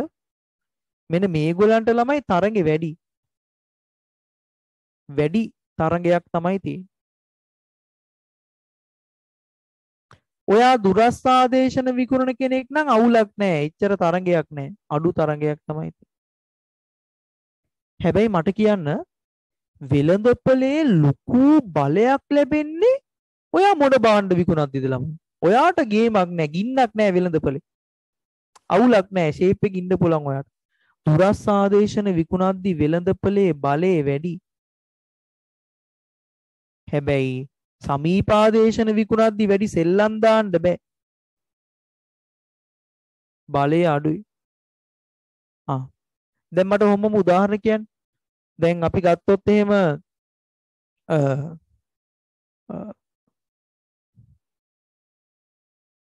සිගනල් ටූත්පේස්ට් සිගනල් ලුයි මොනාද කලෝගාඩුයි. සිගනල් ටූත්පේස් සහ කලෝගාඩ්. මොනාදේශන සිගනල් කලෝගාඩ්. ඒවා. සමීපාදේශ සමීපාදේශ කොකාකෝලා කෝපී කොකා කෝලයි කෝපි කොකා කෝලයි කෝපි ඒව දුරස් ආදේශන තේරෙනව නේද? අන්න ඒ වගේ එන උත්තරය යනවා අපිට එහෙම වෙනස් කරලා අඳුර ගන්න පුළුවන්. Right. ඌව තමයි හරස් සිල්ලුම් නම්මිතාවයට අදාළ සිද්ධිය. හරි. ටියුට් එකේ අපි තියෙන ඕක ඔහොම්ම මෙන්න ආදායම ඉල්ලුම් නම්මිතාවයට ආදායම් ඉල්ලුම් නම් මෙතා එතන උත්තරෙත් ළමයි ධන වෙන්න පුළුවන් ඍණ වෙන්න පුළුවන් බිඳුව වෙන්න පුළුවන්. ආදායම වැඩි වෙද්දී ඉල්ලුම මක්කුණොත්ද ධන උත්තරයක් එන්නේ? ධන උත්තරයක් එන්නේ මට බාණ්ඩිත් කියන සමහර හොඳට පාඩම් ආදායම වැඩි වෙද්දී ඉල්ලුම වැඩි වෙන්න එපා. ඉතින් අනේ එහෙම බාණ්ඩ වලට අපි කියන්නේ මොන බාණ්ඩ කියලාද? මට කියන්න දෙන්නේ කට්ටිය දඩබඩ ගාලා උත්තර දාන හොඳට පාඩම් කරලා. ඒවට අපි කියන්නේ සාමාන්‍ය බාණ්ඩ.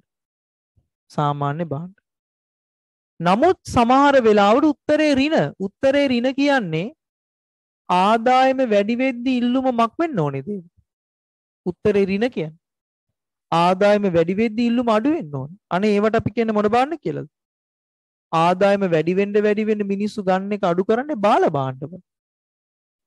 හැබැයි මෙහෙමයි ඔන්න දැන් අහගන්න ගෙදර ෆෑන් එකක් නැහැ ගෙදර ෆෑන් එකක් නැහැ හැබැයි ආදායම වැඩි වෙද්දි ගෙදරට ෆෑන් එකක් ගන්නවා දැන් ෆෑන් එක මොන භාණ්ඩයක්ද එයාට? සාමාන්‍ය භාණ්ඩයක්.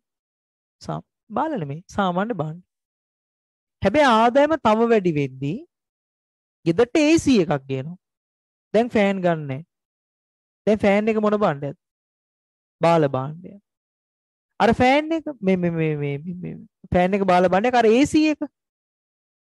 අර AC එක දැන් ඔයාලට සාමාන්‍ය භාණ්ඩයක් වුණා.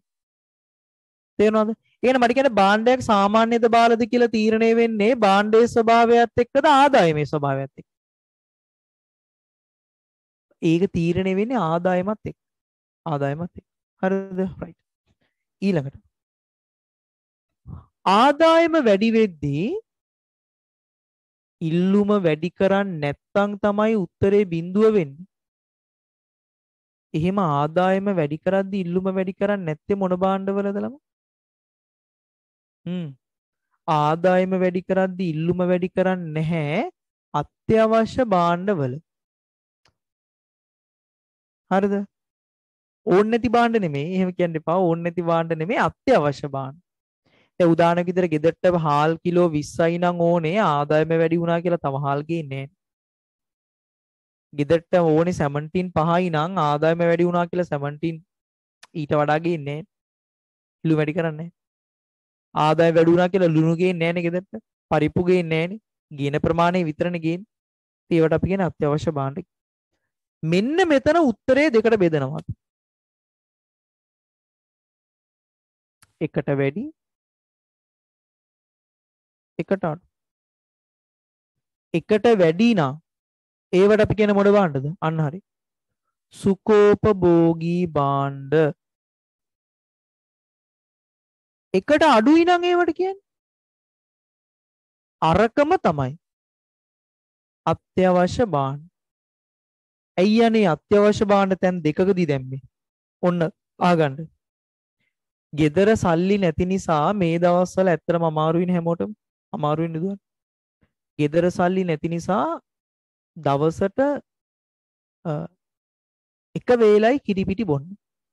බොන්ඩ බෑ ගණන්නේ. එක වේලයි කිරිපිටි බොන්න. දැන් ආදායම වැඩිවෙන්ඩ වැඩිවෙන්ඩ ඔන්න කිරිපිටි ගන්න එක අපි ටික ටික වැඩි කරනවා. ඔන්න ඔය කාලෙ තමයි උත්තරේ කිය වෙනවද වෙන්න. බින්දුව වෙන්න දෙකට අඩු වෙන්න. ආදායම වැඩි වෙද්දි ගෙදරට ඔන්න දැන් කිරිපිටි ටිකක් ගේනවා වැඩිපුර. අන්න ඒ කාලේ තමයි උත්තරේ එකට අඩු වෙන්නේ. උත්තර එකට අඩුවෙන්නේ නැහැ කාලේ. ආදායම වැඩි වෙද්දි කිරිපිටි ටිකක් ගන්නවා දැන්. වැඩි වෙද්දි ගන්නවා චුට්ටක්. අත්‍යවශ්‍ය බාන්න. හැබැයි දැන් ගෙදරට කිරිපිටි ඕනේ අපි තුන් පැකට් දෙකයි නම් පැකට් දෙකක් ගේනවා දැන්. තව ආදායම වැඩි වුණා කියලා එතනින් එහාට කිරිපිටි ගන්නෙ නෑ. අන්න ඒ කාලේ තමයි උත්තරේ කියවෙන්නේ. බිඳුව වෙන්නේ. තේරුණා නේද? ඒතර මම ඔයගෙන් හොඳ ප්‍රශ්නයක් අහන්නද මෙහෙම? අත්‍යවශ්‍ය භාණ්ඩවලට එකට අඩු ආදායම් මිල්ලුම් නම්‍යතාවයක් එන්නේ මිනිසුන්ගේ ආදායම වැඩි කාලෙද මිනිසුන්ගේ ආදායම අඩු කාලෙද? අත්‍යවශ්‍ය භාණ්ඩවල එකට අඩු උත්තරයක් එන්නේ මිනිස්සුන්ගේ ආදායම වැඩි කාලෙද අඩු කාලෙද? හොඳට හොඳට කල්පනා කරන්න හොඳට කල්පනා කරන්න. ඔය නිකන් කියන හොඳට කල්පනා කරන්න. උත්තර දෙක වෙනවා ආදායම අඩු කාලේ. මොකද ආදායම අඩු කාලේ නේද ආදායම වැඩි වෙන්න වැඩි වෙන්න හාල් ටිකක් වැඩිපුර ගේනවා. පරිප්පු ටිකක් වැඩිපුර ගේනවා. මෙච්චර ගෙනාවේ නෑ වැඩි. නේ? බිස්කට් ටිකක් වැඩිපුර ගේනවා ගෙදරට. අර ආදායම වැඩි වෙන්න වැඩි වෙන්න ඔන්න දැන් ටික ටික ගේන්න පටන් ගන්නවා. ඒ ආදායම අඩු කාලේ තමයි ඒක කරන්නේ. දැන් ආදායම හොඳට වැඩි. දැන් කිරිපිටි සීනි ඒවා ගේනවා අවශ්‍ය ප්‍රමාණයට. දැන් තව ආදායම වැඩි වුණාට ගේන්නේ. ඒ ආදායම වැඩි කාලේ. හරිද? රයිට්. ඒක මම අමතරව කිව්වේ. දැන් මෙන්න මේ දෙක පටල ගන්න එපා. මෙන්න මේ සිද්ධි දෙක. හරස් ඉල්ලුන් නම්්‍යතාවය අනුව අඳුරගන්න බාණ්ඩ ටිකයි ආදායම් ඉල්ලුන් නම්්‍යතාවය අනුව අඳුරගන්න බාණ ටිකයි පටලගන්න එපා. මේක මතක තියාගන්න මෙහෙමයි. හරස් ඉල්ලුන් නම්්‍යතාවයේදී බලලා තියෙන්නේ බාණ්ඩ දෙකක් අරගෙන නේද? ආදේශන බාණ්ඩ කියන්නේ බාණ්ඩ දෙකක්. අනුපූරක බාණ්ඩ කියන්නේ බාණ්ඩ දෙකක්. අසම්බන්ධිත බාණ්ඩ කියන්නේ බාණ්ඩ දෙකක් අතර සම්බන්ධ නැහැ. බාණ්ඩ දෙකක් මේ හැමතැනම තියෙනවා. නමුත් ආදායම් මිලුම් නම් මෙතාවේදී එහෙම නෑ. එතන එක භාණ්ඩයේ තියෙන සාමාන්‍ය බාල සුඛෝපභෝගී අත්‍යවශ්‍ය. හරි. එහෙනම් බලමු මට කවුද හරි උත්තරේ දෙන්නේ කියලා. සටපට ගාලා කියන්න. මං කියනවා නම්මිතාවය වමට කියන බාණ්ඩ. හරස්සිල්ලුම් නම්මිතාවය ඕනද මතක් කරගන්න. ටික ගාලා මතක් කරගන්න. හරස්සිල්ලුම් නම්මිතාවය ඍණ. හරස්සිල්ලුම් නම්මිතාවය ඍණ.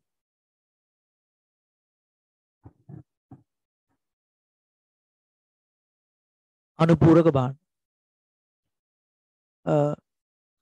ආදාය මිල්ලුම් නම්්‍යතාවය ඔන මතක් කරගන්න මතක් කරන ආදාය මිල්ලු නම්්‍යතාව ධන ආදාය මිල්ලු නම්්‍යතාව ධන සාමාන්‍ය බාණ්ඩ හරසිල්ලු නම්්‍යතාවය ඔන මතක් කරගන්න? හරසිල්ලු නම්්‍යතාවය එකට අඩු.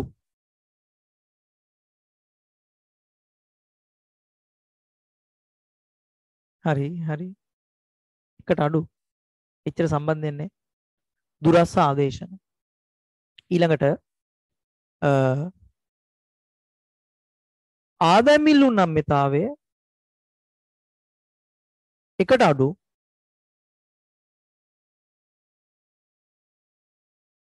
අත්‍යවශ්‍ය. ආදැමිල්ලු නම්මිතා වෙරින ආදැමිල්ලු නම්මිතා වෙරින බාලබාන් දැක්කනේ? ඔන්න ඔය ටික ගාලා ඔය ටික බලා ගන්න ඕනේ අනිවාර්යෙන්. හරිද? right.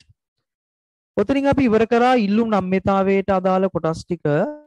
හරස් ඉල්ලුම් නම්්‍යතාවයේ ටියුට් එකේ මේ ටික තියෙනවා. ආදායම් ඉල්ලුම් නම්්‍යතාව. හරි. එන්න සැපයීමට සැපයීම සැපයීමට බලපාන සාධක ගොඩාක් ඉල්ලුමට බලපාන සාධක ඇතුළේ තියෙනවා. හරිද? මට සංකේත වලින් චුට්ටක් කියන්න ඕන. දැන් සලකා බලන භාණ්ඩයේ මිල මෙතනක් තියෙනවා. සැපීමට බලපාන මොකද්ද? සලකා බලන භාණ්ඩයේ මිල px. සම්බන්ධිත භාණ්ඩවල මිලක් මෙතන තියෙනවා. ඒ මොකද්ද? pn. මෙතන අලුතෙන් එන එක තමයි නිෂ්පාදන පිරිවැය සැපීමනේ. නිෂ්පාදන පිරිවැයට මොකද අපි කියන්නේ? C සමහර අය PF කියලා දානවා අමුද්‍රව්‍ය වල මිල කියන්නේ. අන්න දැන් මමට තේරෙමු. ඊළඟට තාක්ෂණය බලපානවා. තාක්ෂණයට අපි කියන්නේ T. හැබැයි ඉල්ලුමේදී T කිව්වේ මොකේටද? ඉල්ලුමේදී T කිව්වේ රුචියට. මෙතන T කියන්නේ තාක්ෂණය. මෙතන ආණ්ඩුවක් ඉන්නවා. රාජ්‍ය ප්‍රතිපත්ති. G. ඒතර ආණ්ඩුව ඇවිල්ලා වැඩ දෙකක් කරනවා. එකක් තමයි බදු ගහනවා. tx අනිත් එක සහන ආධාර දෙනවා s මෙතන සැපියුම් කරුවන් සංඛ්‍යාව බලපානවා n අනාගත අපේක්ෂාත් බලපාන. Ex වෙනස් සාධක o. හරිද? රයිට් මට මෙන්න මෙතන කියන්න ඉසලාම මේවට අපි කියන්නේ මිලහැර මොනවද මේ මිලහැර?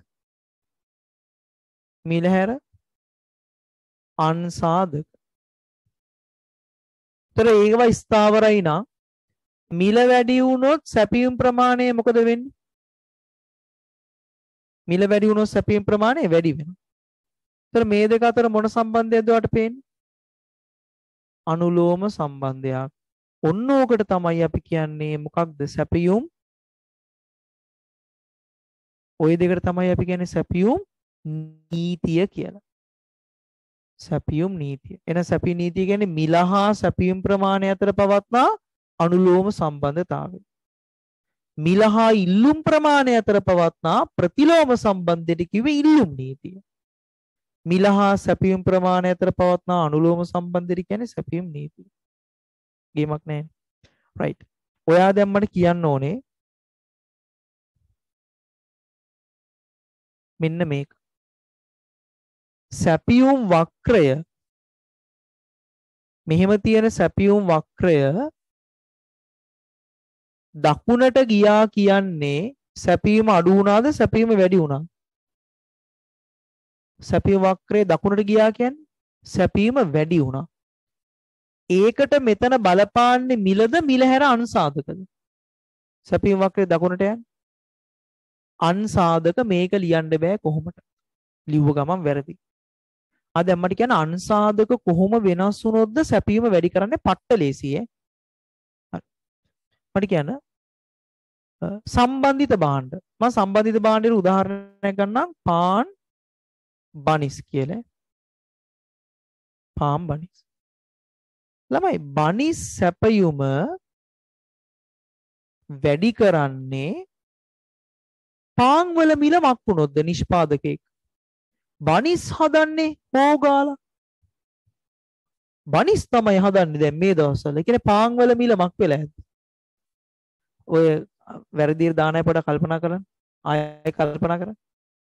නිෂ්පාදකයෙක් හෝගාලා බනිස් හදන්නේ පාන් වල මිල අඩු වෙච්ච නිසා නෙලමයි.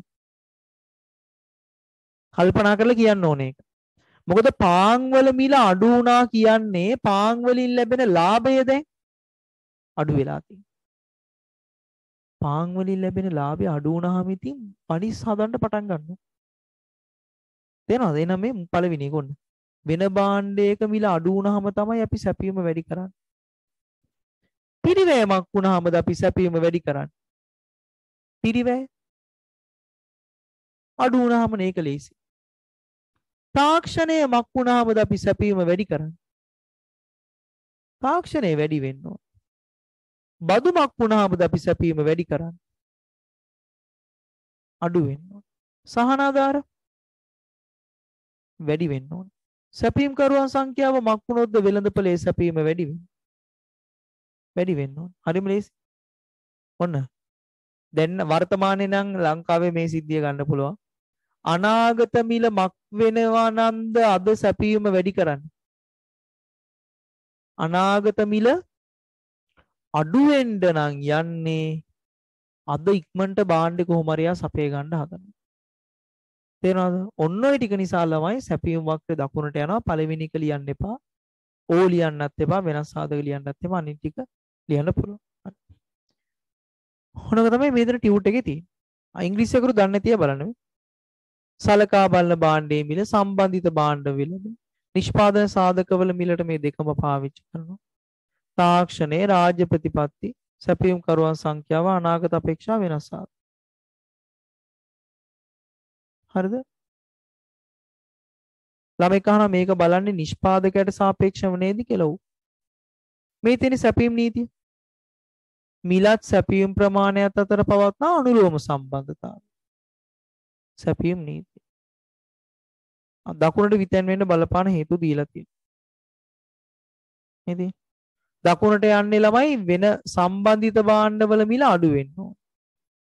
නිෂ්පාදන සාධකවල මිල අඩු වෙන්න ඕනේ. තාක්ෂණයේ වැඩි වෙන්න ඕනේ. බදු අඩු වෙන්න ඕනේ. සහනාධාර වැඩි කරන්න ඕනේ. සැපින් කරන සංඛ්‍යාව වැඩි වෙන්න ඕනේ. අනාගතයේ මිල අඩු වෙයි කියලා හිතන්න ඕනේ. ඒතර තමයි සැපින් වැඩි කරන්නේ. ඉතින් සැපීම වක්‍රේ වමට එන්න බලපාන්නේ ඕකේ අනිත් පැත්ත. සැපීමේ ඔන්න ඔය ටික තමයි බලා ගන්න. අයිලට සැපීම් නම් මෙතාව. ඒක මම එහෙමම කියන්නම්. ඉල්ලුම් නම්මිතාවෙන් බැලුවේ ඉල්ලුම් ප්‍රමාණයේ සිදුවන වෙනස සැපියුම් නම්මිතාවෙන් බලන්නේ සැපියුම් ප්‍රමාණයේ සිදුවන වෙනස. ඉල්ලුම් ප්‍රමාණය ගත්තේ ඩෙල්ටා QD ප්‍රතිශතය මෙතන ගන්නේ ඩෙල්ටා QS ප්‍රතිශතය. හරිද? ඔන්න දැන් ඔයාමට මේකෙන් එන උත්තරේ කියන්න. සැපියුම් නම්මතා වර්ග කීයක් අපිට හම්බෙනවද? සැපී නම්මතා වර්ග පහක් හම්බෙනවා. හරිද? ඔන්න පළවෙනි එක. පූර්ණ අනම්‍ය සැපයුම. උත්තරේ කීයද? පූර්ණ අනම්‍ය සැපයුමක් උත්තරේ බිඳුව. සැපියුම් වක්‍රය මොන අක්ෂරයට සමාන්තරයිද? අර වගේම මෙහෙම තියෙන. මිල අක්ෂරයට සමාන. අතේරුම මට කියන්න. මිල වෙනස් වුණාට සැපියුම් ප්‍රමාණය මොකද? පූර්ණ අනම්‍ය කියන්නේ. මිල වෙනස් වුණාට සැපියුම් ප්‍රමාණය වෙනස් වෙන්නේ නැහැ. වෙනස් නොවේ. හරිද? right. එහෙම වෙන්නේ මොන වගේද ළමයි? මම උදාහරණයක් අර අත්‍යවශ්‍යම වෙන නිසා මම මේ කියන්නේ. නැත්නම් කලින් ඒවා මම කිව්වේ නෑ. මෙහෙම වෙනවා කාර් පාක් එකක වාහන 100යි නම් නවත්තන්න පුළුවන්. ඉතින් 100යි නවත්තන්න පුළුවන්. නේ? ඊළඟට ෆිල්ම් හෝල් එකක සීට් 100යි නම් තියෙන්නේ සීට් 100යි තමයි තියෙන්නේ. ගුවන් යානයක නේ 100යි නම් ඉන්න පුළුවන් 100යි නම් ඉන්න පුළුවන්. ඔය ග්‍රවුන්ඩ් එකක් වුණත් ගන්න පුළුවන්. 100යි නම් බලන්න පුළුවන් මැච් එක 100යි තමයි බලන්න පුළුවන්. පූර්ණ නම් සැපේ. ආ. දැන් මේක අනම්‍ය වුණාම අනම්‍ය වුණාම මෙහෙම තිබ්බ ප්‍රස්ථාරේ පොඩ්ඩක් බර වෙනවා මේ වම් පැත්තටද දකුණු පැත්තටද? මෙහෙම තිබ්බ ප්‍රස්ථාරේ අනම් වුණාම චුට්ටක් බර වෙනවා වම් පැත්තටද දකුණු පැත්තටද?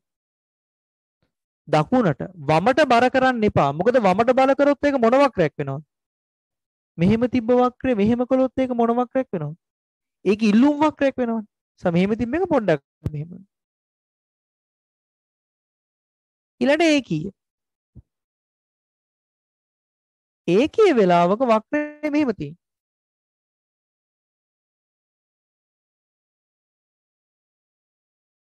කොහෙන්ද පටන් ගන්න තියෙන්නේ? ඒකේ වෙලාවක. බිඳුවෙන් පටන් ගන්න. අන්න ඒක මතකද? අනම්‍ය වෙලාවක පටන් ගන්න තියෙන්නේ කොහෙන්ද? මිලාක්ෂයෙන්ද ප්‍රමාණාක්ෂයෙන්ද? ප්‍රමාණාක්ෂයෙන්. මෙතනත් ප්‍රමාණාක්ෂයෙන්. පූර්ණ අනම්‍ය වුණත් අනම්‍ය වුණත් ප්‍රමාණාක්ෂයෙන් තමයි පටන් ගන්නේ. කිව් අක්ෂය. ඒකේ වෙලාව තමයි බිඳුවෙන් පටන් ගන්න. එහෙනම් නම්මේ වෙලාවක පටන් ගන්නෙ මොන අක්ෂයෙන් වෙන්නද? නම්මේ වෙලාවක ප්‍රස්ථාරේ පටන් ගන්න වෙත්තේ මොන අක්ෂයෙන් වෙන්නද? මෙහෙම තියෙන. P අක්ෂයෙන් මිල අක්ෂයෙන්. එහෙනම් ඔය කියන විදිහට පූර්ණම නම්මේ වුණොත් මොන අක්ෂයෙන්ද පටන් ගන්න වෙත්තේ? Q අක්ෂයෙන්. හැබැයි මෙහෙම sorry P අක්ෂයෙන් පටන් ගන්න. හැබැයි මෙහෙම ප්‍රමාණක්ෂය සමාන. කොහොමද මේ ප්‍රස්ථාර පය හැඩය කියන්න පුළුවන් අය? මොන බලන්න. පූර්ණම අනම්‍ය නම් මෙහෙම. අනම්‍ය වුණාම මෙහෙම වෙනවා. හැබැයි අවස්ථා දෙකේදීම ප්‍රස්ථාරේ පටන් ගන්නේ මොන අක්ෂයෙන්ද?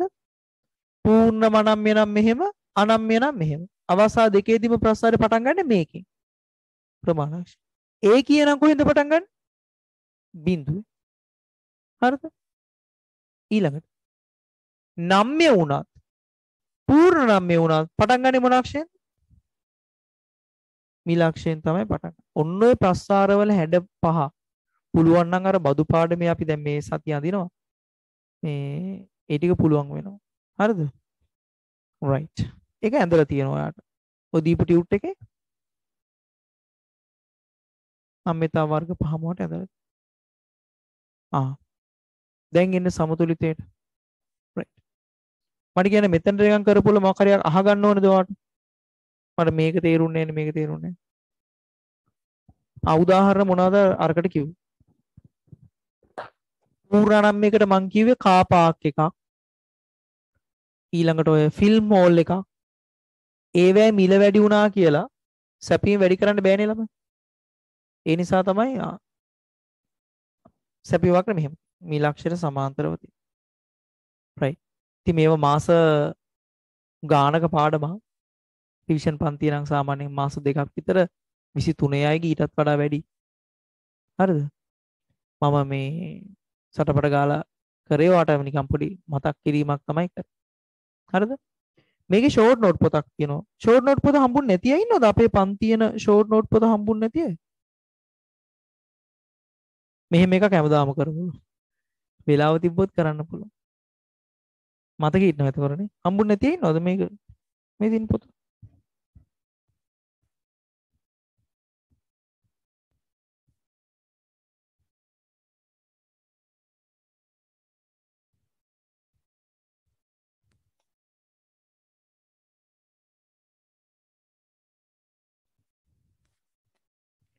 ඔයගොල්ලෝ ළමයි මේ පාර ටියුට් එක ගෙදරට එවද්දී මේක එවයි.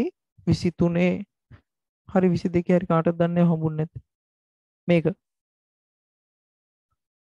මේකේ තියෙනවා මේ මුළු පාඩමම තියෙනවා. ඒ කියන්නේ අ මේ ෂෝට් නෝට් පොතේ. පේන අපේනොත් ඉල්ලුම ඒ ටික රාජ්‍ය මැදිහත් වීමට එනකන් තියෙනවා. පළවෙනි පාඩම එක හම්බුණානේ කොහොමද නේ පළවෙනි පාඩම හම්බුණා රතු පාට. එක මල්ලඟ දෙන්නේ. රතු පාට එක අයක හම්බුණානේ හරි.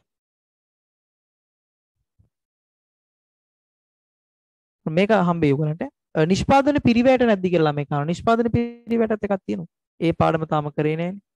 ඒක කරාම ඒකට දෙනවේ රයිට් දැන් එන්න සමතුලිතයට. හරිද? එක්සෑම් එකේ මාක්ස් දෙන්නේ නැද්ද? බලලා තියෙන්නේ. මෙඩල් අපි මෙන්න මේ මෙඩල් එක එවනවා ගෙදරට මේ ඔන්ලයින් පන්තියේ ළමයි මම දැක්කා টොප් 10 ඇතුළේ ඉන්නවා. මේක තමයි ඔයාලට හම්බෙන්නේ මෙඩල් එක. හරි. මේ එනවා. මේ තමයි ඔයාලට හම්බෙන මෙඩල් එක. මේ ෆිසිකල් පන්ති වලට නම් මේ ෆිසිකල් පන්තිදී ගන්න පුළුවන්. අනිත් අයගේ අපි මම එන්නම් කියලා හිටියේ ගෙදරට ඇවිල්ලා දී දෙනවා කියලා. බෑනේ ළමයි පෙට්‍රල් නැහැනේ. නැත්තම් එන්න තිබ්බ. ඒගොල්ලන්ට හම්බෙනවා මේ ටියුබ් ගෙදරට එවනවා මෙඩල් එක. මෙඩල් එක දාලා ලස්සන ෆොටෝ එකක් ගහලා අපිට එවනවා. හරි. රයිට්. හෙට දෙදස් විසි දෙකයාගේ එක්සෑම් එකට තියෙනවෑ. මගේ කියන්නම් තියෙන විදිිය. කරන්ට එකත් එක්ක තමයි එක තීරණවේ හෙට රිවිෂන් පන්දිද මං කියන්න විස්සර හරි. එන්ඩ අප අවසාන කොටසට වෙළඳපල සමතුලිත වෙළඳපල සමතුල. හරි. මෙන්න මේ වගුව දිහා බලලා මට කියන්න හොඳර කල්පනා කරලා කියන්න මේ වගූ දිහා බලලා පේනවද? ලොක් කරන ඕන? සමතුලිත මිල කීයද? ඔන්න සමතුලිත හොයන විදිය. සමතුලිත මිල කීයද? හරි 20යිලු ප්‍රමාණය කීයද? මිල 20යි ප්‍රමාණය 300. අපි ගන්න ඉල්ලු ප්‍රමාණය සැපීම් ප්‍රමාණය සමාන වෙන තැන. ඊට මේ තොරතුරු ටික දාලා අපි අඳිනවා ඉල්ලුම් වක්‍රේ සැපීම් වක්‍රේ. එතකොට අපිට සමතුලිත මිලයි ප්‍රමාණය මේකිනුත් එනවා. හරිද? රයිට් දැන් මෙන්න මේකේ සමීකරණ වලින් අපි ගාන හදන්න පටන් ගන්නෙ කොහොමද ළමයි? QD සමානයි QS කියලා දාලානේ. හරිද? ආ මේ පොඩක් ඉන්නකෝ.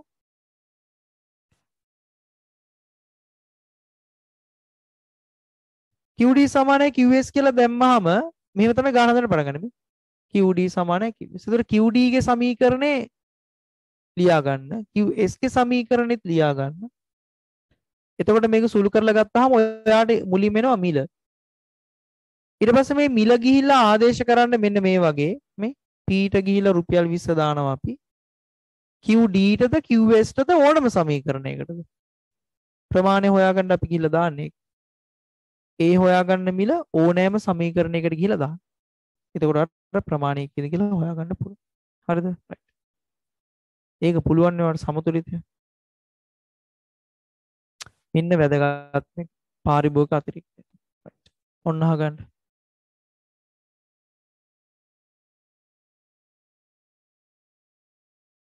ළමයි පාරිභෝගික අතිරික්තය මං කෙලිම ප්‍රසාරයෙන් වල කියලා දෙන්න. දැන් මේ තියෙන ඉල්ලුම් වක්‍රය මේ තියෙන සැපියුම් වක්‍රය මේ තියෙන සමතුලිත මිල රුපියල් 50. මේ තියෙන සමතුලිත ප්‍රමාණය මං ගන්නම් 300යි කියලා. හරිද? දැන් වෙළඳපොලේ සමතුලිත ප්‍රමාණය රුපියල් 300 වුණාට ඔයා ගිහිල්ලා බාණ්ඩ 300ම ගන්නවද ළමයි වෙළඳපොලේ? ඔයා ගිහිල්ලා වෙළඳපොලෙන් බාණ්ඩ 300ම ගන්න නෑනේ. ඔයා ගිහිල්ලා මෙන්න මේ බාණ්ඩ ටික තමයි ඉල්ලන්නේ.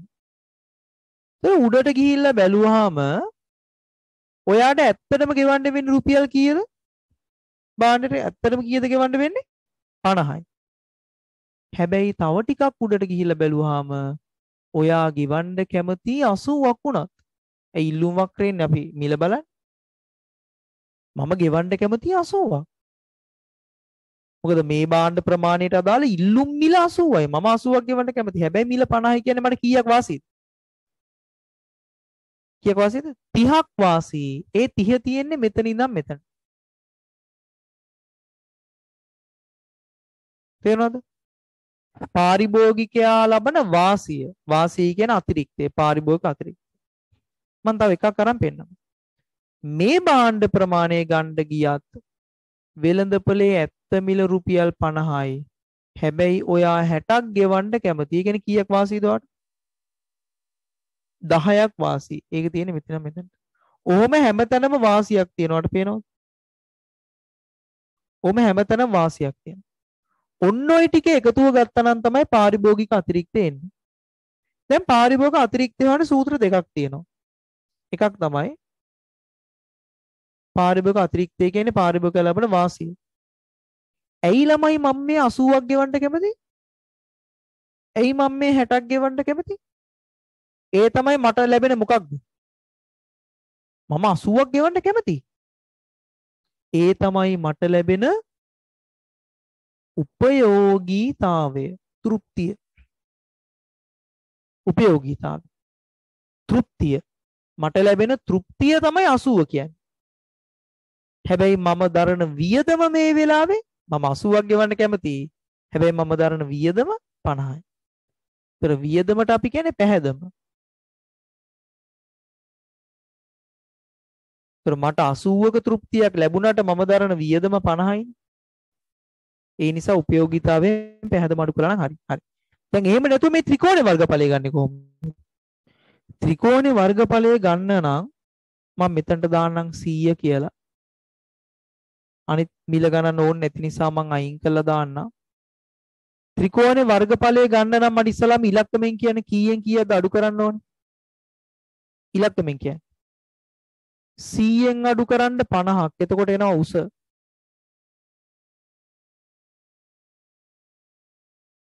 සීයෙන් පණහා කඩු කරලා කීයෙන්ද වැඩි කරන්න ඕනේ?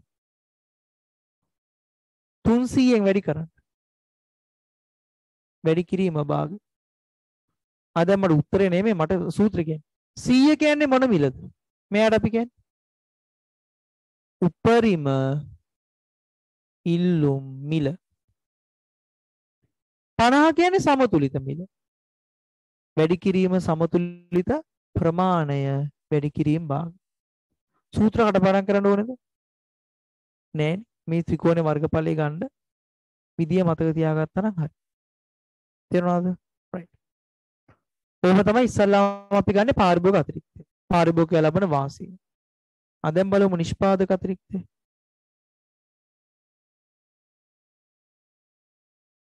නිෂ්පාදකයා ලබන වාසිය.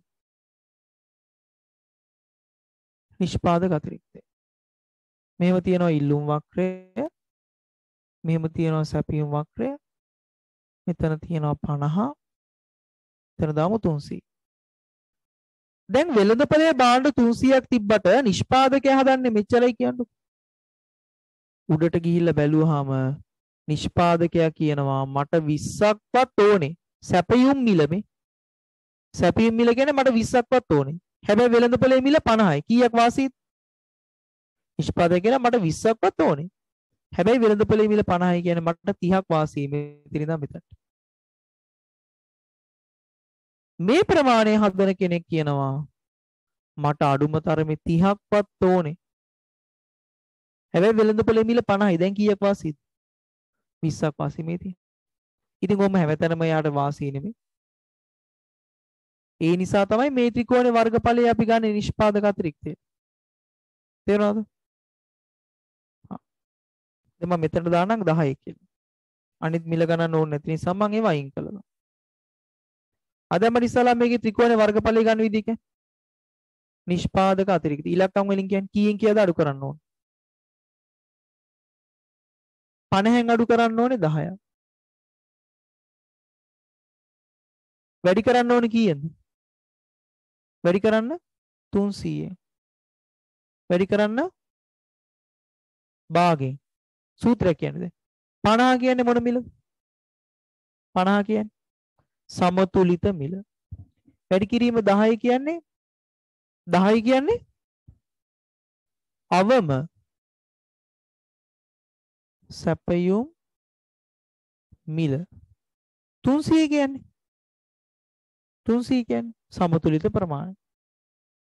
අනිත් එක නිෂ්පාදක අතිරික්තය මේ 50 තමයි නිෂ්පාදකයාට ලැබෙන ආදායම. එයාගේ මුළු ආදායම. 50 තමයි එයාට භාණ්ඩයකින් ලැබෙන මිල. ළමයි ඇයි යාර 20ක්වත් ඕනේ මට? 30ක්වත් ඕනේ මට? 50ක් දෙන්න. එනකොට මට එයා කියන මට 20ක්වත් ඕනේ. ඇයි එයා එහෙම කියන්නේ? මට 30ක්වත් ඕනේ. ඒ මොකක්ද එයාගේ? ඒ ඒ නිෂ්පාදකයා මොකක් නිසාද? එයා කිව්වා මට 20ක්වත් ඕනේ 30ක්වත් ඕනේ කියලා. ඒ තමයි බාණ්ඩේ හදන්න ගිය වියදම. බාණ්ඩේ හදන්න ගිය වියදමට අපි කිව්වේ මොන පිරිවැය කියලාද නිෂ්පාදකයාගේ විචල්්‍ය පිරිවැය. විචල්්‍ය පිරිවැය. එයා කියලා මට අඩුම තරමේ 20ක්වත් ඕනේ 30ක්වත් ඕනේ. හැබැයි 50 කම් වෙනවා. ඒතර ආදායම 50යි ඒ වුණාට ඉතින් බලාපොරොත්තු වෙන්නේ 20ක් වගේ. එයාගේ පිරිවැය නිසා. හරිද? ඔන්න ඔය දෙක ගණනය කරන විදියව ඉගෙන ගන්න ඕනේ. එතන සූත්‍ර දෙකත් එක්ක මට දීලා තියෙනවා. මේ මේ දෙන්නගේ එකතුවට අපි කිව්ව මොන අතිරික්තය කියලාද ළමයි? මේ දෙන්නගේ එකතුවට අපි කිව්ව මොන අතිරික්තයද? පාරිභෝගික අතිරික්තය දන නිෂ්පාදන අතිරික්තයට අපි කිව්වේ ආර්ථික අතිරික්තය කියලා. ආර්ථික අතිරික්තය. තේරුණාද? right. ඔන්න ඔය කොටස් ටික තමයි අපි අද සාරංශ කරගන්න පුළුවන් උනේ සූත්‍ර ලියන්න ඕනද එක්සෑම් එකේදී? ඔව්. ලකුණක් දෙනවා සූත්‍රෙට. ලිව්වේ නැත්තම් ලකුණක් අඩු වෙනවා හරි. තේරුණාද? ටික කලබලෙන් කරේ. අලුත් අයට.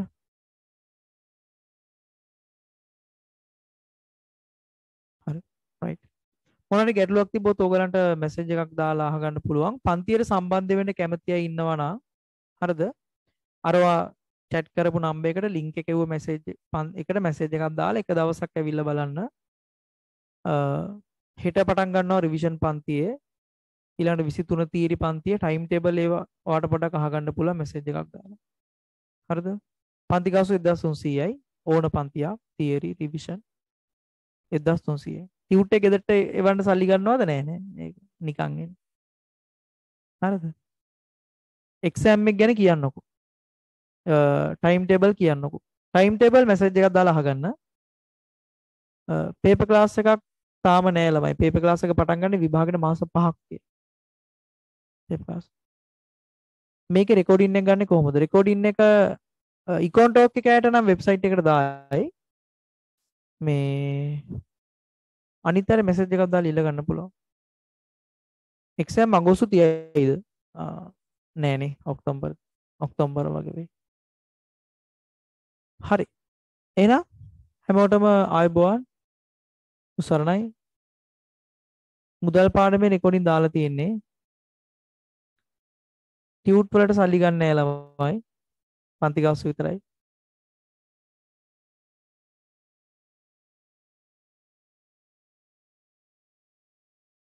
හරි. එහෙනම් ආයුබෝවන්.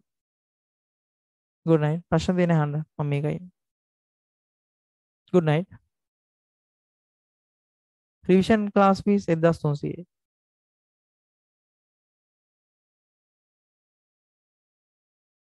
එහෙනම් අයබෝන් good night උල් පාඩම් වල රෙකෝඩින් බලන්න බැයිද පුළුවන්?